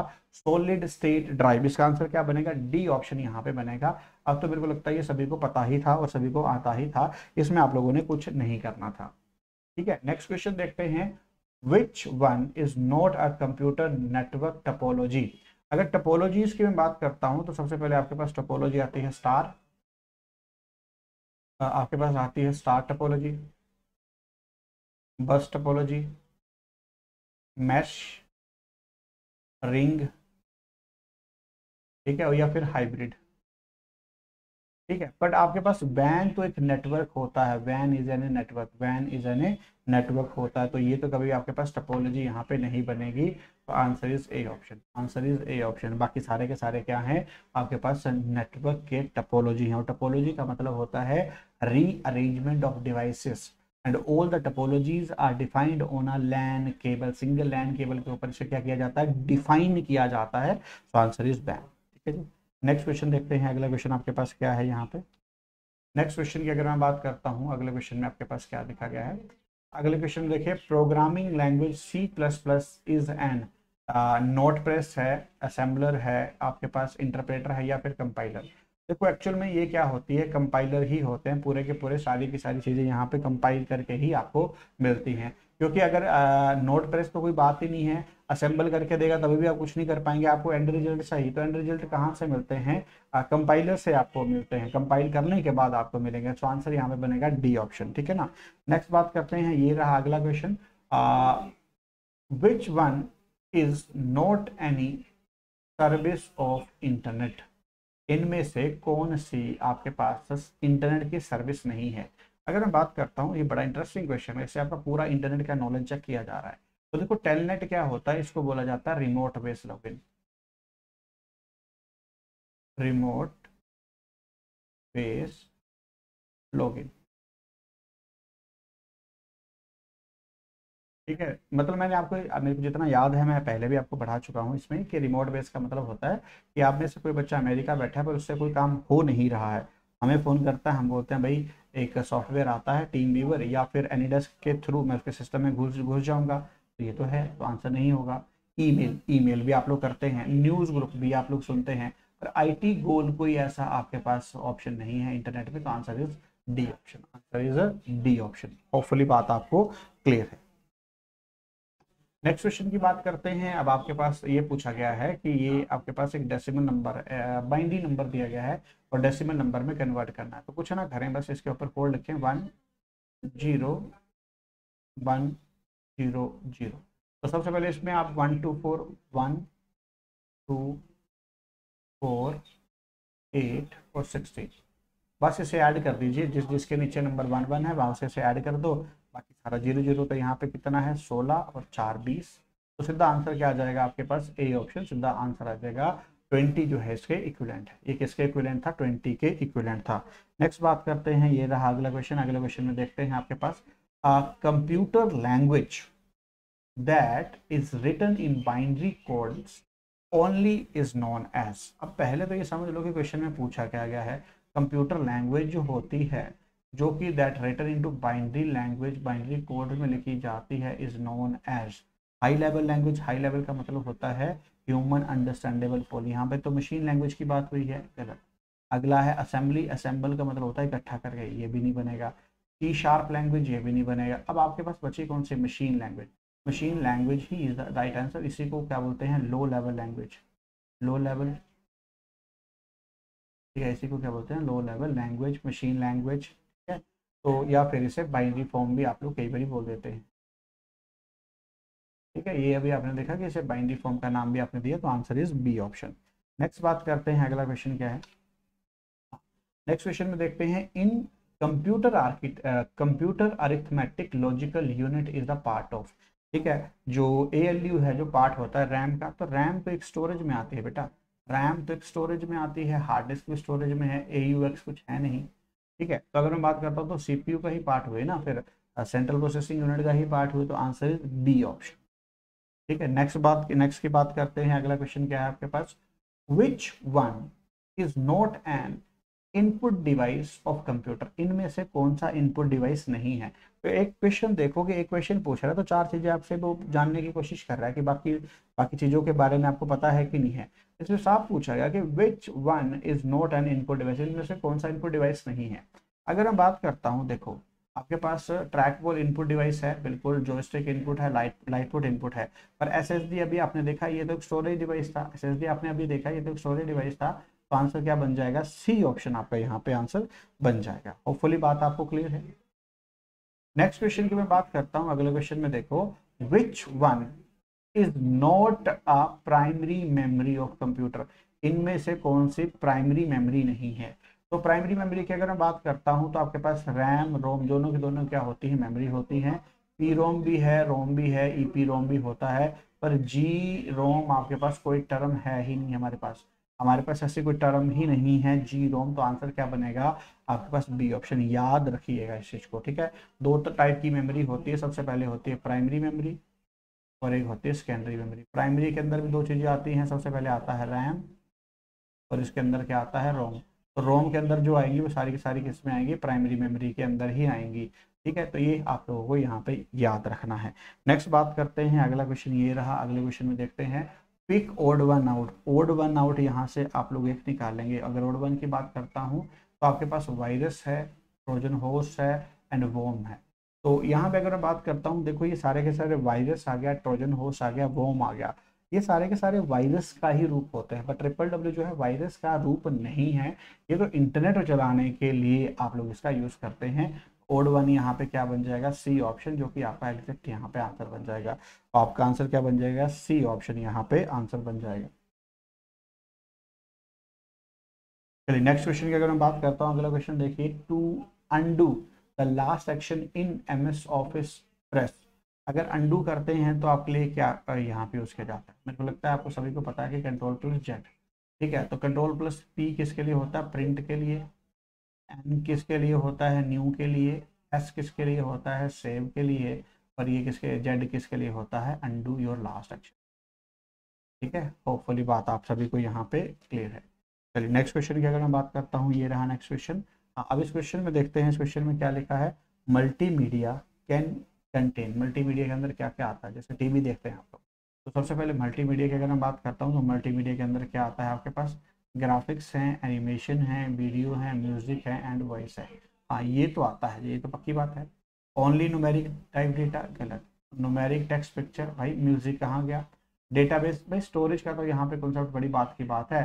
तो जो एनिमेशन मल्टीमीडिया का जो मतलब होता है कई भी बच्चे मेरे को ये भी बोल देते हैं कि, सर, ये थोड़ी ना है। मैं बोलता हूँ, भाई, ये तो जनरल क्वेश्चन है। अगर आप टीवी देख रहे हो, आप इंटरनेट चला रहे हो तो इंटरनेट में आप ये मल्टीमीडिया तो देख रहे हो। जब मल्टीमीडिया देख रहे हो, चाहे टॉपिक हो, चाहे ना हो, ऐसा क्वेश्चन पूछ लेता है, मेरे भाई, याद रखिएगा, ऐसा क्वेश्चन बन जाता है। तो आंसर इज़ ए ऑप्शन ठीक है ना? आंसर इज़ ए ऑप्शन चलिए नेक्स्ट क्वेश्चन की बात करते हैं। आपके पास इस क्वेश्चन में क्या लिखा गया है? The most important difference in the performance between the main memory and secondary memory अगर बात करता हूँ, सबसे पहले है पावर कंजप्शन तो बात ही नहीं बनी। Most secondary storage device are too big to fit on the CPU गलत बोल रहा है, ऐसा नहीं होता है। बोल रहा है जो, जैसे हार्ड डिस्क है वो उससे सीपीयू के अंदर फिट ही नहीं होती है। गलत बोल रहा है। Secondary storage is mostly bi state but memory जो but main memory is mostly tri state speed of as secondary storage is much slower इसका आंसर एग्जैक्ट जो बन रहा है, वो बिल्कुल सही आंसर है डी ऑप्शन क्योंकि जो सेकेंडरी होती है, जो एक्सटर्नल मेमोरी होती है, उसकी डेटा को स्पीड करने की जो आपके पास पावर होती है, वो क्या होती है? काफ़ी ज़्यादा स्लो होती है। क्यों? क्योंकि वहाँ पे वैसे डेटा खींचा नहीं जा सकता एक्सेस नहीं किया जा सकता जितना कि प्राइमरी अब एक मेमोरी वो जो इंटरनल सिस्टम में पड़ी है, उससे डेटा फास्ट रिकवर होगा या निकाला जाएगा। एक या वो जो जैसे बाहर से एक्सेस किया जाएगा। ऑब्वियस जो इंटरनल होती है तो ये डी ऑप्शन बिल्कुल यहाँ पे सही आंसर बन रहा है, ठीक है? चलिए नेक्स्ट अगर बात करते हैं तो ये रहा अगला क्वेश्चन यूपीएस यूपीएस की अगर मैं बात करता हूँ तो यूपीएस क्या है आपके पास? यूपीएस क्या होता है? Increase the storage capacity of a number system increase the processing speed या provide backup power in even event of the power cut. हाँ बिल्कुल सही है कि आपके पास सी ऑप्शन आंसर बनेगा। भैया, कि जब हमारे पास लाइट नहीं होती है तो हमारे सिस्टम में क्या है? लाइट ये प्रोवाइड करवा देता है और हम लोग यहाँ पे लाइट क्या कर सकते हैं? यूज़ कर सकते हैं। तो हम बिना लाइट के भी जब काम कर सकते हैं, क्योंकि यूपीएस के थ्रू हमें बैकअप मिल जाता है। नेक्स्ट बात करते हैं। अगला क्वेश्चन देखिए। अगला क्वेश्चन में क्या है?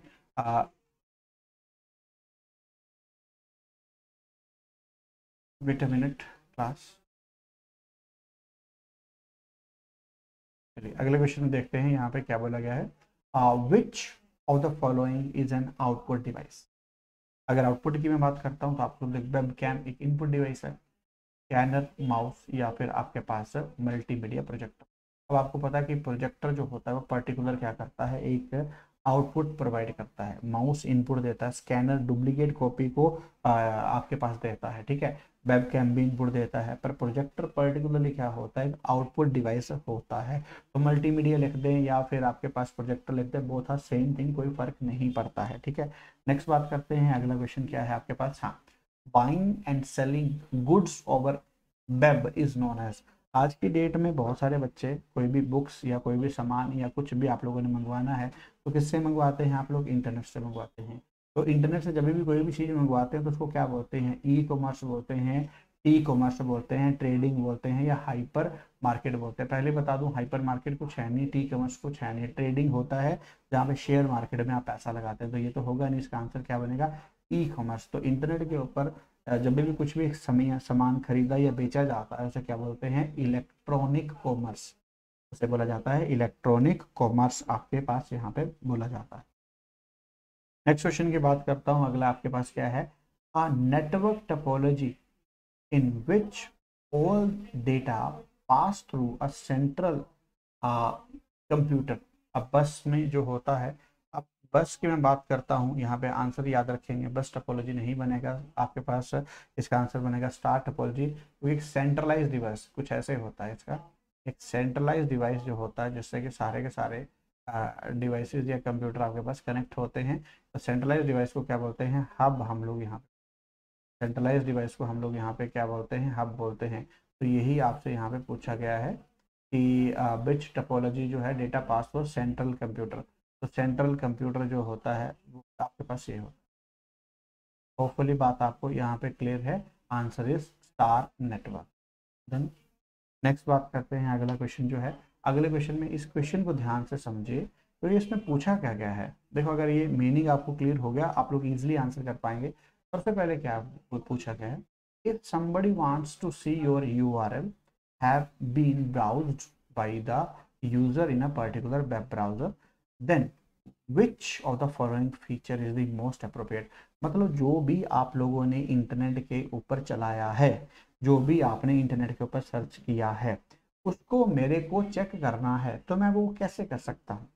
वो मैं कैसे ऑप्शन निकाल सकता हूँ कि आपने अभी इंटरनेट के ऊपर क्या किया? टाइम पास किया है इंजॉय किया है एंटरटेन किया है बट एवर यू वांट तो मैं वो कैसे आपके ऊपर एक तरीके से नज़र रखने की बात हो रही है तो मैं उस चीज़ को कैसे चेक कर सकता हूँ? मैं हिस्ट्री में जाके चेक करूँगा।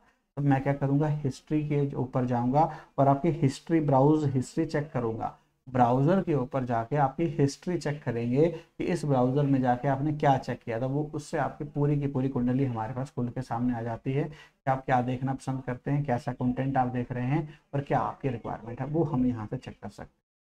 तो होपफुली बात ये भी क्लियर है, ठीक है जी?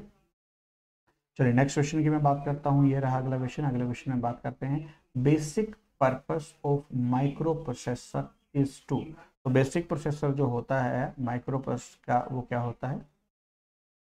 स्टोरेज द इंफॉर्मेशन या प्रिंट द डेटा या कंप्यूट डेटा या फिर सेंड एन ईमेल देखो ईमेल और ये तो अलग चीज़ें हैं। स्टोर ये करता नहीं है कंप्यूट करता है माइक्रो प्रोसेसर देखो, अगर मैं बात करता हूँ, आज की डेट में हम लोग नए नए लैपटॉप या कंप्यूटर या नए नए मोबाइल लेते हैं तो उसमें हम लोग क्या चेक करते हैं, इसकी माइक प्रोसेसिंग स्पीड क्या है? तभी तो हम लोग नए नए लैपटॉप या नए नए कंप्यूटर रहते हैं, क्योंकि उनकी स्पीड जो होती है, वो नॉर्मल के मुकाबले बहुत ज़्यादा हाई होती है। तो computing data is the meaning of कि माइक्रो प्रोसेसर को मैनिपुलेट किया जा रहा है, उसकी स्पीड बढ़ाई जा रही है। ठीक है जी? होपफुली बात आपको क्लियर है। चलिए नेक्स्ट क्वेश्चन की मैं बात करता हूँ। अगला क्वेश्चन देखते हैं। नेक्स्ट क्वेश्चन में आपके क्या लिखा हुआ है? Data bus is known as a set of tracks और wires on dash C P U s RAM motherboard या फिर जीपीयू अगर बात करता हूँ तो देखो डेटा बस जो है is known as set of tracks और वायर ठीक है तो वो जितने भी आपके पास ट्रैक होते हैं या या आपके पास वायर्स होती हैं तो मदरबोर्ड के ऊपर ही तो लगती हैं, तभी तो आप सारे के सारे सिस्टम को एक सेंट्रल डिवाइस के साथ क्या कर पाते हो कनेक्ट कर पाते हो? तो answer is C option next देखते हैं। Which among the following is logical operation of A L U तो लॉजिकल की अगर मैं बात करता हूँ, अब देखो मल्टीप्लीकेशन अरिथमेटिक होता है एडिशन अरिथमेटिक होता है, और आपके पास डिवीज़न भी अरिथमेटिक होता है। तो आपके पास लॉजिकल ऑपरेशन बनेगा डी ऑप्शन लॉजिकल में कौन कौन होते हैं? लेस देन आ गया ग्रेटर देन आ गया लेस देन इक्वल टू आ गया ग्रेटर देन इक्वल टू आ गया, ठीक है इज़ इक्वल टू आ गया, ये सारे के सारे क्या हैं? लॉजिकल ऑपरेशन है ना, ये सारे के सारे क्या हैं लॉजिकल ऑपरेशन है। और ये सारे के सारे मैथमेटिकल ऑपरेटर हैं एडिशन सब्ट्रैक्शन मल्टीप्लिकेशन ठीक है? तो होपफुली बात आपको क्लियर है। नेक्स्ट क्वेश्चन की बात करते हैं, अगला क्वेश्चन देखते हैं। नेक्स्ट क्वेश्चन में आपके पास क्या लिखा हुआ है? Which generation of computer witness to development of the hand held device like mouse मतलब ये पूछा जा रहा है कि माउस आपने कौन से जनरेशन में यूज़ किया है? माउस जो है आप लोगों ने सबसे पहले फोर्थ जनरेशन में यूज़ किया। माउस जो है वो आप लोगों ने कौन से जनरेशन में यूज़ किया? फोर्थ जनरेशन में। और आपके पास कीबोर्ड अगर पूछ ले कि कीबोर्ड याद रखिएगा कीबोर्ड जो था, आप लोगों ने थर्ड जनरेशन में यूज़ किया था। सबसे पहले थर्ड जनरेशन में आप लोगों ने यहाँ पे यूज़ किया था। ये मैं आपको पहले बता दूँ। तो कीबोर्ड जो था, वो थर्ड जनरेशन और फोर्थ जनरेशन में माउस आपके पास आया है। उससे पहले होता ही नहीं था। ठीक है? चलिए नेक्स्ट बात करते हैं। लिंकडिन तो लिंकडिन की अगर मैं बात करता हूँ ये भी एक जनरल क्वेश्चन है। तो जैसे आपके पास सोशल मीडिया के ऊपर क्वेश्चन पूछ लिया जाता है कि इंस्टाग्राम क्या है इंस्टाग्राम एक सोशल मीडिया है। तो लिंकडिन क्या है? एक प्रो, एक प्रोफेशनल साइट है जिसके ऊपर आप लोग क्या करते हैं? जॉब वगैरह ढूंढते हैं और अपने रिज्यूमा और अपने प्रोफेशनल करियर की शुरुआत यहाँ से करते हैं। तो लिंकडिन जो था स्टार्ट कब हुआ? Specifically started its in Indian operation India में ऑपरेशन इसने स्टार्ट करना कब से स्टार्ट किया था? 2009 में इसने स्टार्ट अपना काम किया था। नेक्स्ट बात करते हैं, अगला क्या है आपके पास? हाँ नेक्स्ट की मैं बात करता हूँ। एस रैम एस रैम की अगर बात करते हैं एस रैम में क्या लिखा हुआ है? An S RAM module consume as compare to D RAM module मतलब आपके पास पावर की बात करेंगे double power equal power less power या फिर more power S power S RAM जो होती है, वो लेस पावर लेती है as compare to D S का मतलब होता है स्टैटिक स्टैटिक माने रुका हुआ, और डी का मतलब है डायनामिक डायनामिक माने चलता हुआ। ऑब्वियस चलती हुई मेमोरी जो है, जो आप जिस एक ऐसी वैल्यू जिसके ऊपर रेगुलर काम हो रहा है, उस पर तो ज़्यादा लगेगा। और एक ऐसी वैल्यू जो रखी हुई है, उस पर थोड़ी ना आएगा। तो लेस वैल्यू पावर जो है, वो एस रैम क्या करती है? कंज्यूम करती है ये आपको यहाँ पे समझना पड़े। नेक्स्ट अगर बात करता हूँ, अगले क्वेश्चन में देखते हैं। नेक्स्ट क्वेश्चन में आपके पास क्या लिखा है? CPU consist of register that are, and store data during the processing.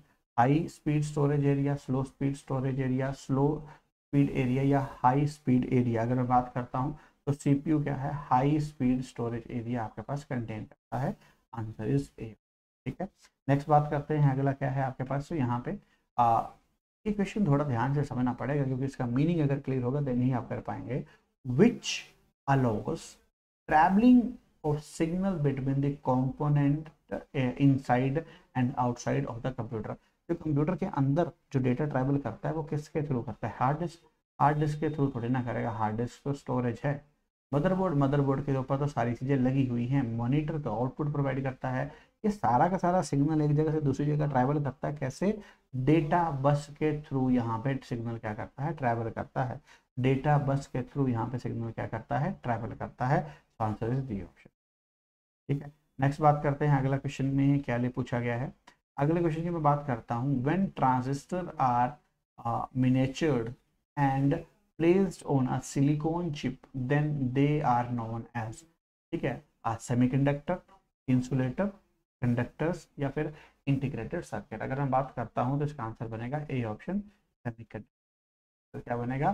Semiconductor आपके पास आंसर बनेगा। नेक्स्ट अगर मैं बात करता हूँ नेक्स्ट क्या है? अगले क्वेश्चन में देखते हैं। अगले क्वेश्चन में मैं बात करता हूँ। S RAM and D RAM अभी आपने इसके बारे में पढ़ा भी है। एस रैम एस मतलब स्टैटिक रैम जो होती है, वो क्या होती है? फास्ट होती है स्लो होती है। अब मैंने आपको पहले भी आपको बताया होगा कि एस रैम फास्ट होती है। तो इसका आंसर फास्ट और एस रैम जो हम फास्ट फास्ट तो है। ये ऑप्शन तो कैंसिल स्लो वाले तो कैंसिल एस रैम फास्ट होती है, आगे बोला है expand D is and then D RAM जो होती है एक्सपेंसिव तो इसका आंसर चीप तो नहीं बन सकता, इसका आंसर बनेगा D option S RAM is faster and expensive देखो बेटा, अब बहुत से बच्चों को आता है मन में कि एस रैम का मतलब होता है स्टैटिक स्टैटिक माने रुका हुआ नहीं बेटा। कैसे नहीं समझते। हैं एस रैम के अंदर क्या आता है? एस रैम के अंदर सबसे पहले आता है कैश मेमोरी कैश मेमोरी इसके अंदर आपके पास आते हैं सीपीयू रजिस्टर। ठीक है? आपके पास यहाँ पे आते हैं। ठीक है जी? नेक्स्ट अगर मैं बात करता हूँ, आगे आपके पास अगला क्वेश्चन जो है। इस क्वेश्चन में देखते हैं, इस क्वेश्चन में क्या लिखा हुआ है। आपके पास command line interpreter is also known as input output G U I shell या फिर कर्नल तो इसका आंसर बनेगा आपके पास सी ऑप्शन सेल भी इसे हम लोग जानते हैं। हाँ जी तो ये रहा आपका नेक्स्ट क्वेश्चन इसमें स्टार्ट करते हैं। देखिए क्या बोला गया है। Control manage and supervise each task और ओवरऑल एक्टिविटी ऑफ़ कंप्यूटर मतलब पूरे के पूरे कंप्यूटर की एक्टिविटी को जो हैंडल करने का टास्क होता है, वो किसका होता है? माइक्रोसॉफ्ट ऑफ़िस का मदरबोर्ड का हार्ड डिस्क या फिर ऑपरेटिंग सिस्टम का। बच्चों, मैं आपको यहाँ पे बताना चाहूँगा माइक्रोसॉफ्ट ऑफ़िस तो एम वर्ड हो गया पावर पॉइंट हो गया एक्सेल को सिर्फ़ पर्टिकुलर एक को ही डिनोट करता है। मदरबोर्ड के ऊपर तो सारे के सारी चीज़ें इंस्टॉल की जाती हैं। हार्ड डिस्क तो स्टोरेज का काम करता है, पर हैंडलिंग का काम जो होता है वो किसका होता है? ऑपरेटिंग सिस्टम का यहाँ पे रहता है। तो आंसर क्या बनेगा? बी ऑप्शन ठीक है जी?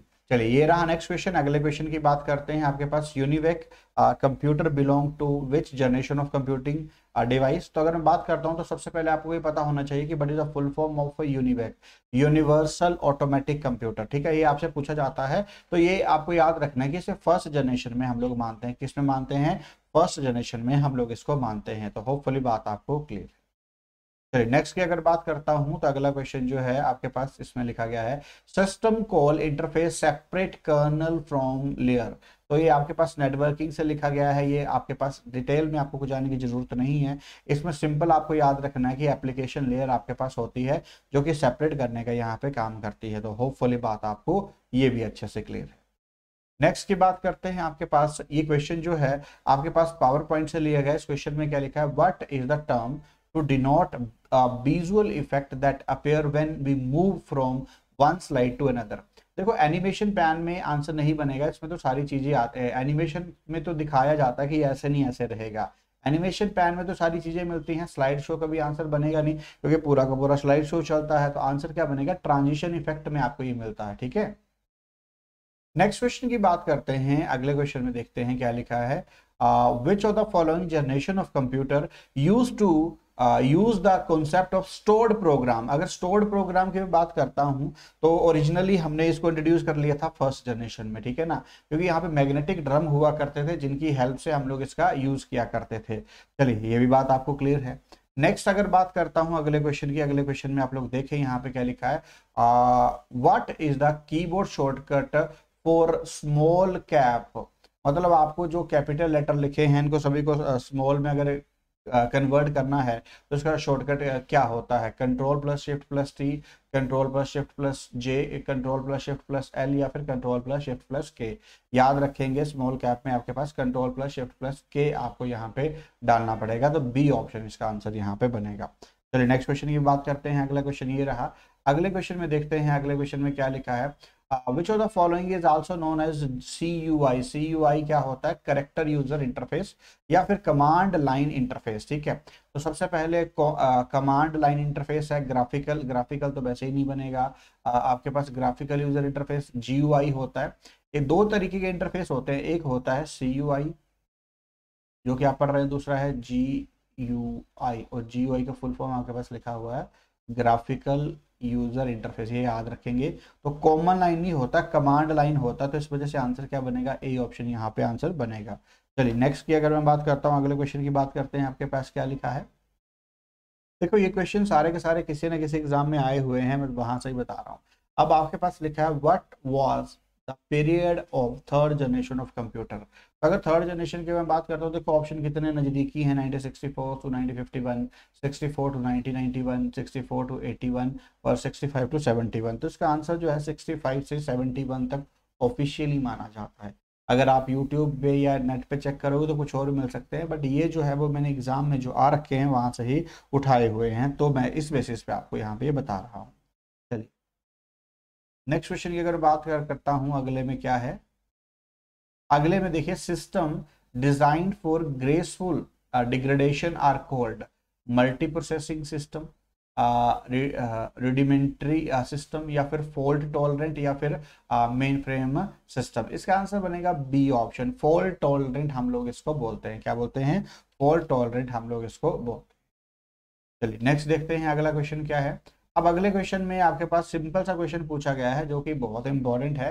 तो quick access the replace tab मतलब फाइंड और रिप्लेस का जो ऑप्शन आता है तो ये पूछा गया कि रिप्लेस अगर आपने करना है तो कंट्रोल के साथ कौन सी ऑप्शन दबाते हैं? तो कंट्रोल के साथ कंट्रोल प्लस एच दबाते हैं। कंट्रोल के साथ कंट्रोल प्लस एच अगर आप लोग दबाएँगे तो ये काम होगा। तो आपके पास कितना बनेगा? डी ऑप्शन इसका आंसर यहाँ पे बनेगा। नेक्स्ट अगर मैं बात करता हूँ तो अगले क्वेश्चन में देखते हैं। आपके पास देखो ये जनरेशन ऑफ़ कंप्यूटर के ऊपर ही कितने क्वेश्चन यहाँ पे पूछे जा सकते हैं वही मैं आपको यहाँ पे बता रहा हूँ। अगले क्वेश्चन में देखते हैं आपके पास यहाँ पे क्या है। हम्म। आ, हाँ पहले पेंसिल टिकल लेते हैं। चलिए देखते हैं यहाँ पे which generation of computer allow to device to run a multiple and different application at a single time मतलब उससे पहले जो कंप्यूटर हुआ करते थे, वो आप लोग सिंगल यूज़र पे एक सिस्टम पे एक ही प्रोग्राम ओपन किया कर पाते थे, उससे ज़्यादा कुछ नहीं होता था। बट अब उसके बाद कौन से जनरेशन में हमें ये मिला है तो वो मिला है थर्ड जनरेशन में।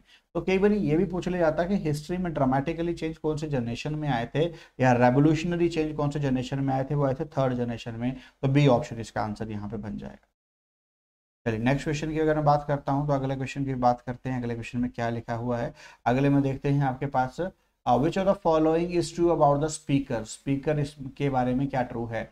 It is an audio output device हाँ बिल्कुल पहला तो सही लग रहा है, बिल्कुल सही है, कोई दिक्कत नहीं है। इनपुट डिवाइस ना जिना ऑडियो इनपुट डिवाइस ना जिना एंड ऑडियो वीडियो दोनों नहीं होता। तो इसका आंसर साफ़ तौर पर दिख रहा है कि आपके पास ए ऑप्शन अब देखो, पूछने का तरीका है और कैसे आपके पास चीज़ों को यहाँ पे पूछता है, ठीक है? चलिए नेक्स्ट की मैं बात करता हूँ, अगले क्वेश्चन में देखते हैं, अगले क्वेश्चन में आपके पास क्या लिखा हुआ है?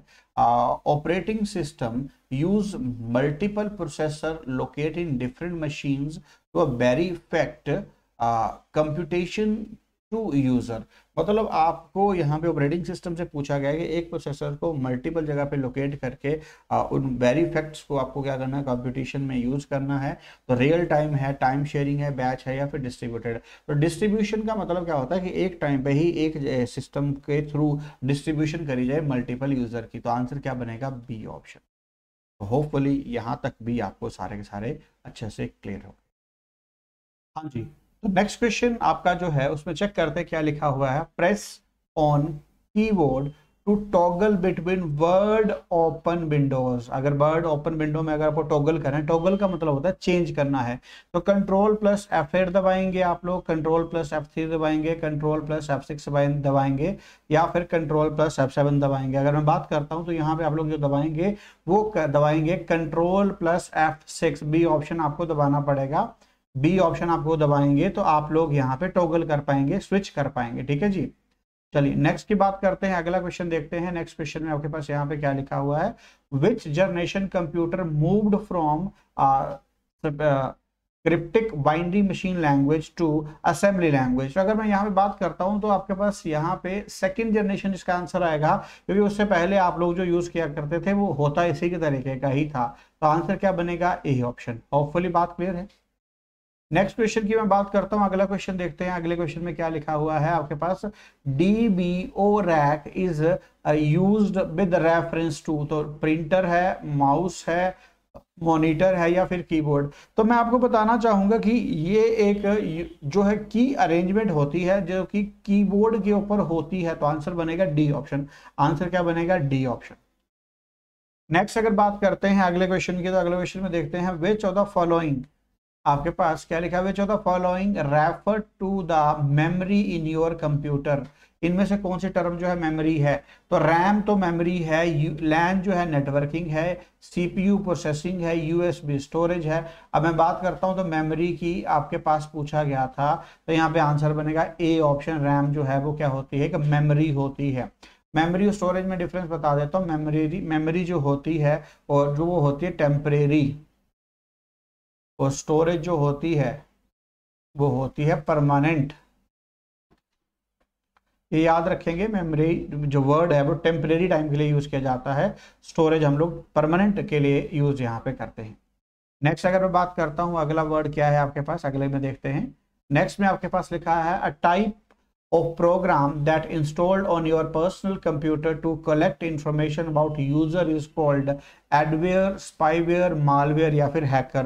अगर मैं बात करता हूँ तो एडवेयर जो है एड के ऊपर लगाने के थ्रू आता है। मालवेयर जो होता है एक तरीके से सारे के सारे काम तो यही हैं, पर स्पाईवेयर जो है पर्टिकुलरली यही काम करता है जासूसी भरे। स्पाई का मतलब अगर मैं बात करता हूँ स्पाई स्पाई वर्ड का मीनिंग ही अपने आप में क्या होता है? जासूसी।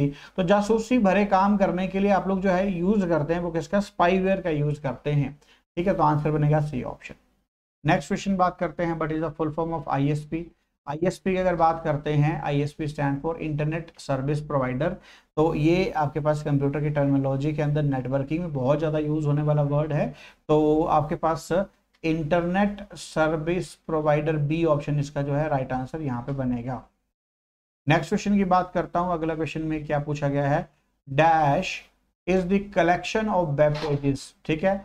आ, तो इसको जो है आप बोलते हैं website is the collection of web pages and very first page that we see on opening the website is known as home page तो आंसर क्या बनेगा आपके पास? B option very first page जो होता है वो क्या हो?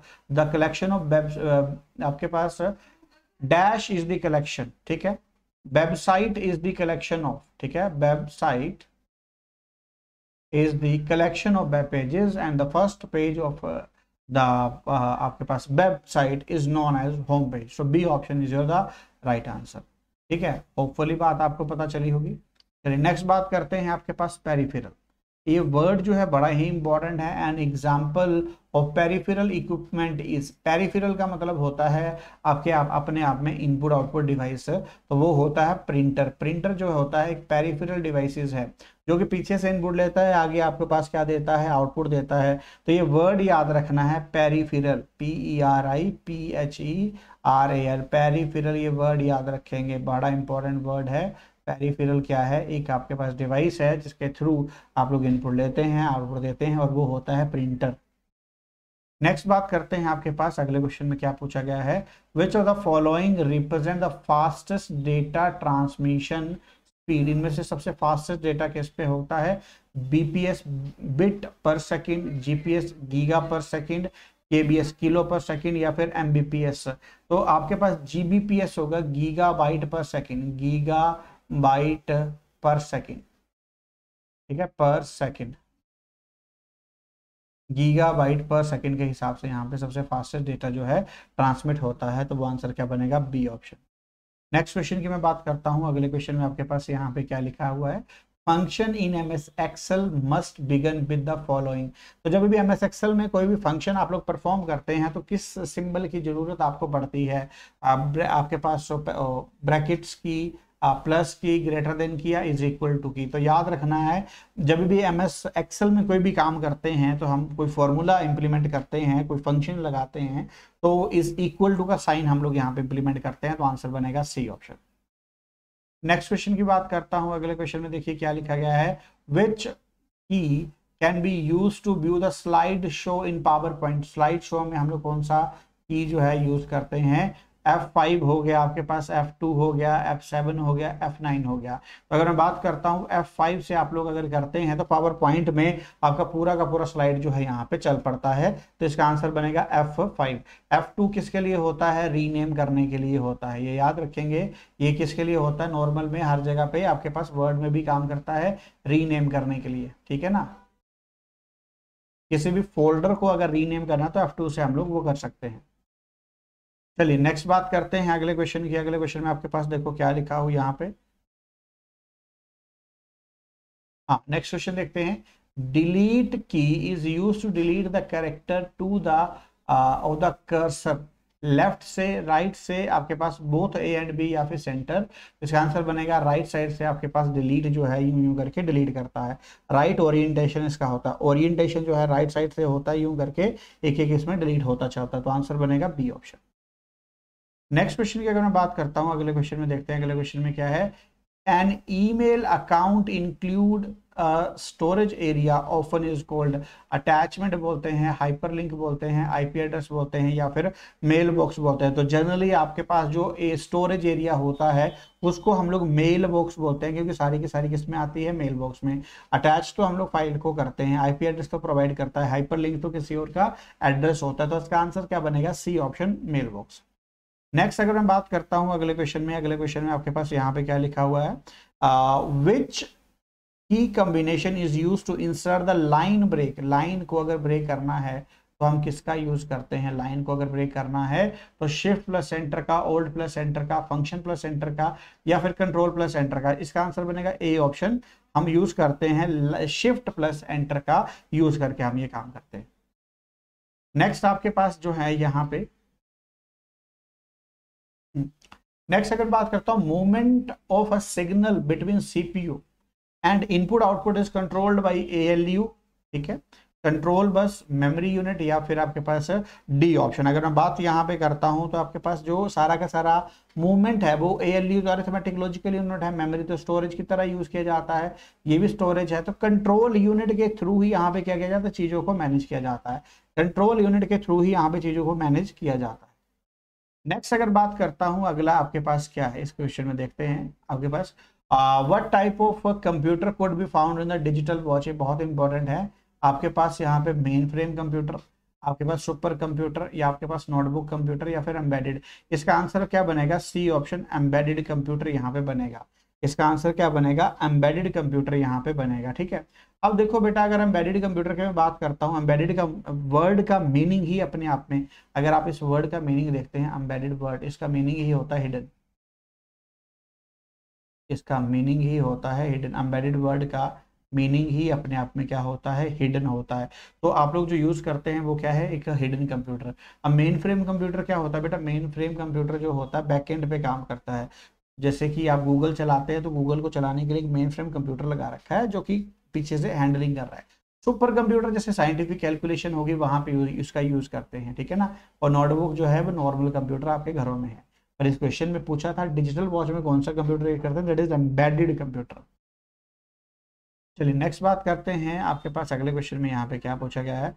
Which type of memory of pen drive pen drive में जो मेमोरी होती है, वो कौन सी होती है? फ्लैश मेमोरी होती है, ठीक है? या कैश मेमोरी होती है, या फिर डबल ई पी रोम होता है, या फिर रैम होता है। अगर मैं बात बात यहाँ पे कर रहा हूँ कि पेन ड्राइव को आप किस नाम से जानते हैं? देखो, पेन ड्राइव को जनरली आप लोग फ्लैश मेमोरी के नाम से भी बोल देते हैं, पर इसमें पूछा गया है which type of memory is pen drive तो आपके पास जनरली यहाँ पे डबल ई पी रोम इसको हम लोग बोलते हैं डबल ई पी रोम हम इसे बोलते हैं, ठीक है? चलिए नेक्स्ट देखते हैं अगले क्वेश्चन में क्या है आपके पास। Doctor Solomon doctor Solomon and McAfee is a popular क्या है वायरस है आपके पास? एंटीवायरस है, आपके पास ऑपरेटिंग सिस्टम है तो क्या है डॉक्टर सोलोमन और मैकेफे आप लोग सारे जानते हैं doctor McAfee doctor Solomon and McAfee क्या है दोनों के दोनों? एंटीवायरस है फ़ेमस एंटीवायरस है जिसका कि हम लोग यूज़ करके अपने सिस्टम में से वायरस को डिटेक्ट करने के लिए यूज़ करते हैं, ठीक है ना? तो वायरस तो कभी आंसर वैसे भी नहीं बनना था डॉक्टर नेम तो वैसे भी नहीं, इसका कोई लॉजिक नहीं बनता ऑपरेटिंग सिस्टम ये था नहीं, ठीक है? तो अगर मैं यहाँ पे बात करता हूँ अगले क्वेश्चन की, अगले क्वेश्चन में देखते हैं क्या लिखा हुआ है। A word in a web page that is clicked open to the another document is called एक एक पेज देखा होता है, जिसके ऊपर यूँ नीचे करके ब्लू कलर की लाइन बनी हुई होती है, जिसके ऊपर क्लिक करते हैं कि न्यू पेज ओपन हो जाता है तो उसको क्या बोलते हैं? एंकर बोलते हैं रेफरेंस बोलते हैं यूआरएल बोलते हैं हाइपर लिंक तो आपको आंसर याद रखना, इसका आंसर बनेगा बी ऑप्शन हाइपर लिंक उसको बोला जाता है। कई बार पेपर में इसका शॉर्टकट पूछ लेता है हाइपर लिंक का शॉर्टकट होता है control plus K control plus K ठीक है? और यूआरएल का फुल फॉर्म भी पूछ लेता है uniform resource locator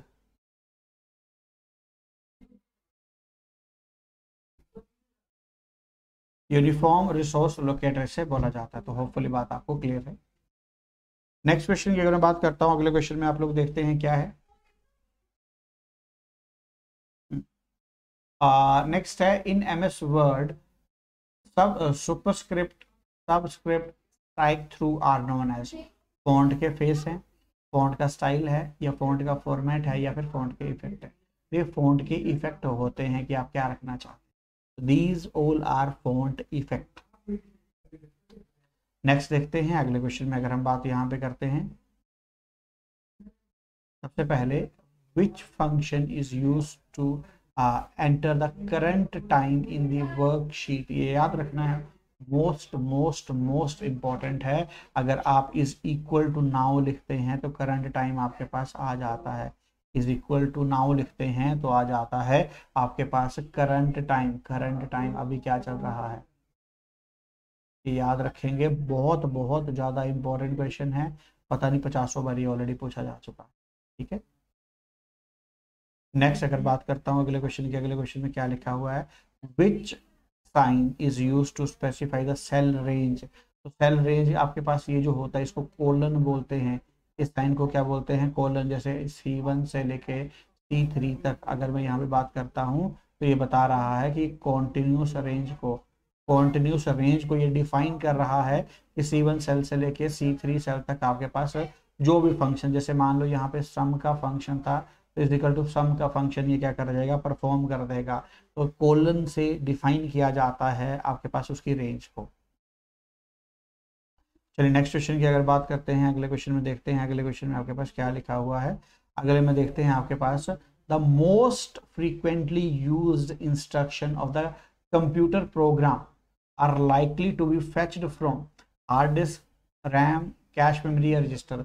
hard disk तो जो है आपके पास डेटा परमानेंट यहाँ पे स्टोर होता है, रैम आपके पास रेंडम एक्सेस मेमोरी होता है, रजिस्टर जो है ट्रांसफ़र करने के लिए। अब यहाँ पे पूछा गया था मोस्ट फ्रीक्वेंटली यूज़ तो उसको आपने सुना भी होगा कैचे मेमोरी बोलते हैं कुछ कुछ चाचे भी बोल देते हैं, पर इसका नाम होता है कैशे मेमोरी। इसका नाम जो होता है वो होता है कैशे मेमोरी होपफुली आपको याद होगा, ठीक है? नेक्स्ट की अगर बात करते हैं तो परम। सबसे पहले अगर परम की मैं बात करता हूँ तो वो क्या था? Param is an example of, Param is an example of super computer तो सबसे पहले जो आपके पास सुपर कंप्यूटर आया था, वो था परम। Eight thousand. केबीडी पेपर में पूरा complete name Param eight thousand लिखा हुआ आ जाता है तो घबराएँगे नहीं, परम एट थाउज़ेंड जो था, सबसे पहला कंप्यूटर था। तो सबसे पहला सुपर कंप्यूटर जो आपके पास इंडिया में बना था तो उसका नाम था परम एट थाउज़ेंड, आपको याद रखना है। अब आपके पास ये पता होना चाहिए। अब ये देखो, यहाँ पे एक वर्ड और लिखा है। पीसी तो मेरे को लगता है आप लोग सारे जानते हैं पर्सनल कंप्यूटर अब ये लिखा है but is a PDA PDA क्या होता है? इसका फुल फॉर्म पूछ लेता है। आंसर तो यही है, पर एडिशनल इन्फॉर्मेशन में एड ऑन करिए पीडीए होता है पर्सनल डिजिटल असिस्टेंस ये फुल फॉर्म पूछ लेता है तो आपको ये पता रखना है कि PDA stand for personal digital assistance इसका फुल फॉर्म होता है, जो कि आपके एग्ज़ाम के लिए ज़रूरी है। नेक्स्ट अगर मैं बात करता हूँ, अगले क्वेश्चन में आपके पास क्या लिखा हुआ है? यहाँ पे लिखा हुआ है विच ऑफ़ द फॉलोइंग की function of the firewall monitor करना है डिलीट करना है कॉपिंग करना है, या मूविंग तो आप लोग एक बात तो जानते हैं कि कॉपिंग तो नहीं करता है फायरवॉल मूव तो नहीं करता है किसी चीज़ को डिलीट तो नहीं करता है. इसका बेसिक टास्क जो होता है, वो होता है पहले होता है मॉनिटर करना। मॉनिटर करने के बाद आप लोगों को यहाँ से पूछा जाता है कि अब मैंने इसको चेक कर लिया है कि भैया आपके सिस्टम में वायरस आ गया। जैसे आप स्कैन करते हैं तो वहाँ पे वायरस दिखा देता है कि this is your an virus फिर आपसे परमिशन लेता है विंडोज़ से कि क्या इसे डिलीट करना है, क्या इसे रिमूव करना है, क्या इसे डिलीट टू चेस्ट करना है। तो जो भी होता है वो आप लोग कर देते हैं। तो उसका आंसर क्या बनेगा? ए ऑप्शन मॉनिटर करने का काम करता है। उसके बाद उसको डिलीट या रिपेयर या मूव टू चेस्ट करने का काम होता है। होपफुली बात क्लियर चलिए नेक्स्ट क्वेश्चन की अगर हम बात करते हैं तो अगले क्वेश्चन में देखते हैं। लास्ट क्वेश्चन में आपके पास क्या लिखा हुआ है? वेन यू कट और कॉपी इंफॉर्मेशन जब भी आप लोग किसी चीज़ को कट करते हैं कॉपी करते हैं तो इट गेट प्लेस्ड इन तो जब भी मैं अगर किसी चीज़ को कट करके एक प्लेस से दूसरे प्लेस के ऊपर लेके जा रहा हूँ तो टेम्परेरी टाइम पे कोई जगह भी चाहिए ना जहाँ पे उसे होल्ड करके रखूँ। उसे क्या बोलते हैं? क्लिप आर्ट बोलते हैं क्लिप बोर्ड बोलते हैं मदरबोर्ड बोलते हैं इंटरनेट बोलते हैं। पहली बात इंटरनेट तो कभी आंसर नहीं बनेगा। मदरबोर्ड कभी आंसर नहीं बनेगा। आंसर क्लिप आर्ट और क्लिप बोर्ड में रहेगा। अब क्लिप आर्ट के ऊपर तो डिज़ाइन मिलते हैं तो ये भी आंसर नहीं बनता है। अब यहाँ पे आंसर क्या बनेगा? क्लिप बोर्ड इसको इसका पर्टिकुलर नाम होता है कि जब भी टेम्परेरी टाइम के लिए किसी भी चीज़ को आप एक जगह से उठा के दूसरी जगह के ऊपर लेके जाते हो कट करते हो या कॉपी करते हो तो दूसरी जगह होल्ड करने के लिए चाहिए वो होता है, वो होता है दैट इज़ क्लिप बोर्ड उसको बोलते हैं क्लिप बोर्ड आप लोग यहाँ पे नाम देते हैं।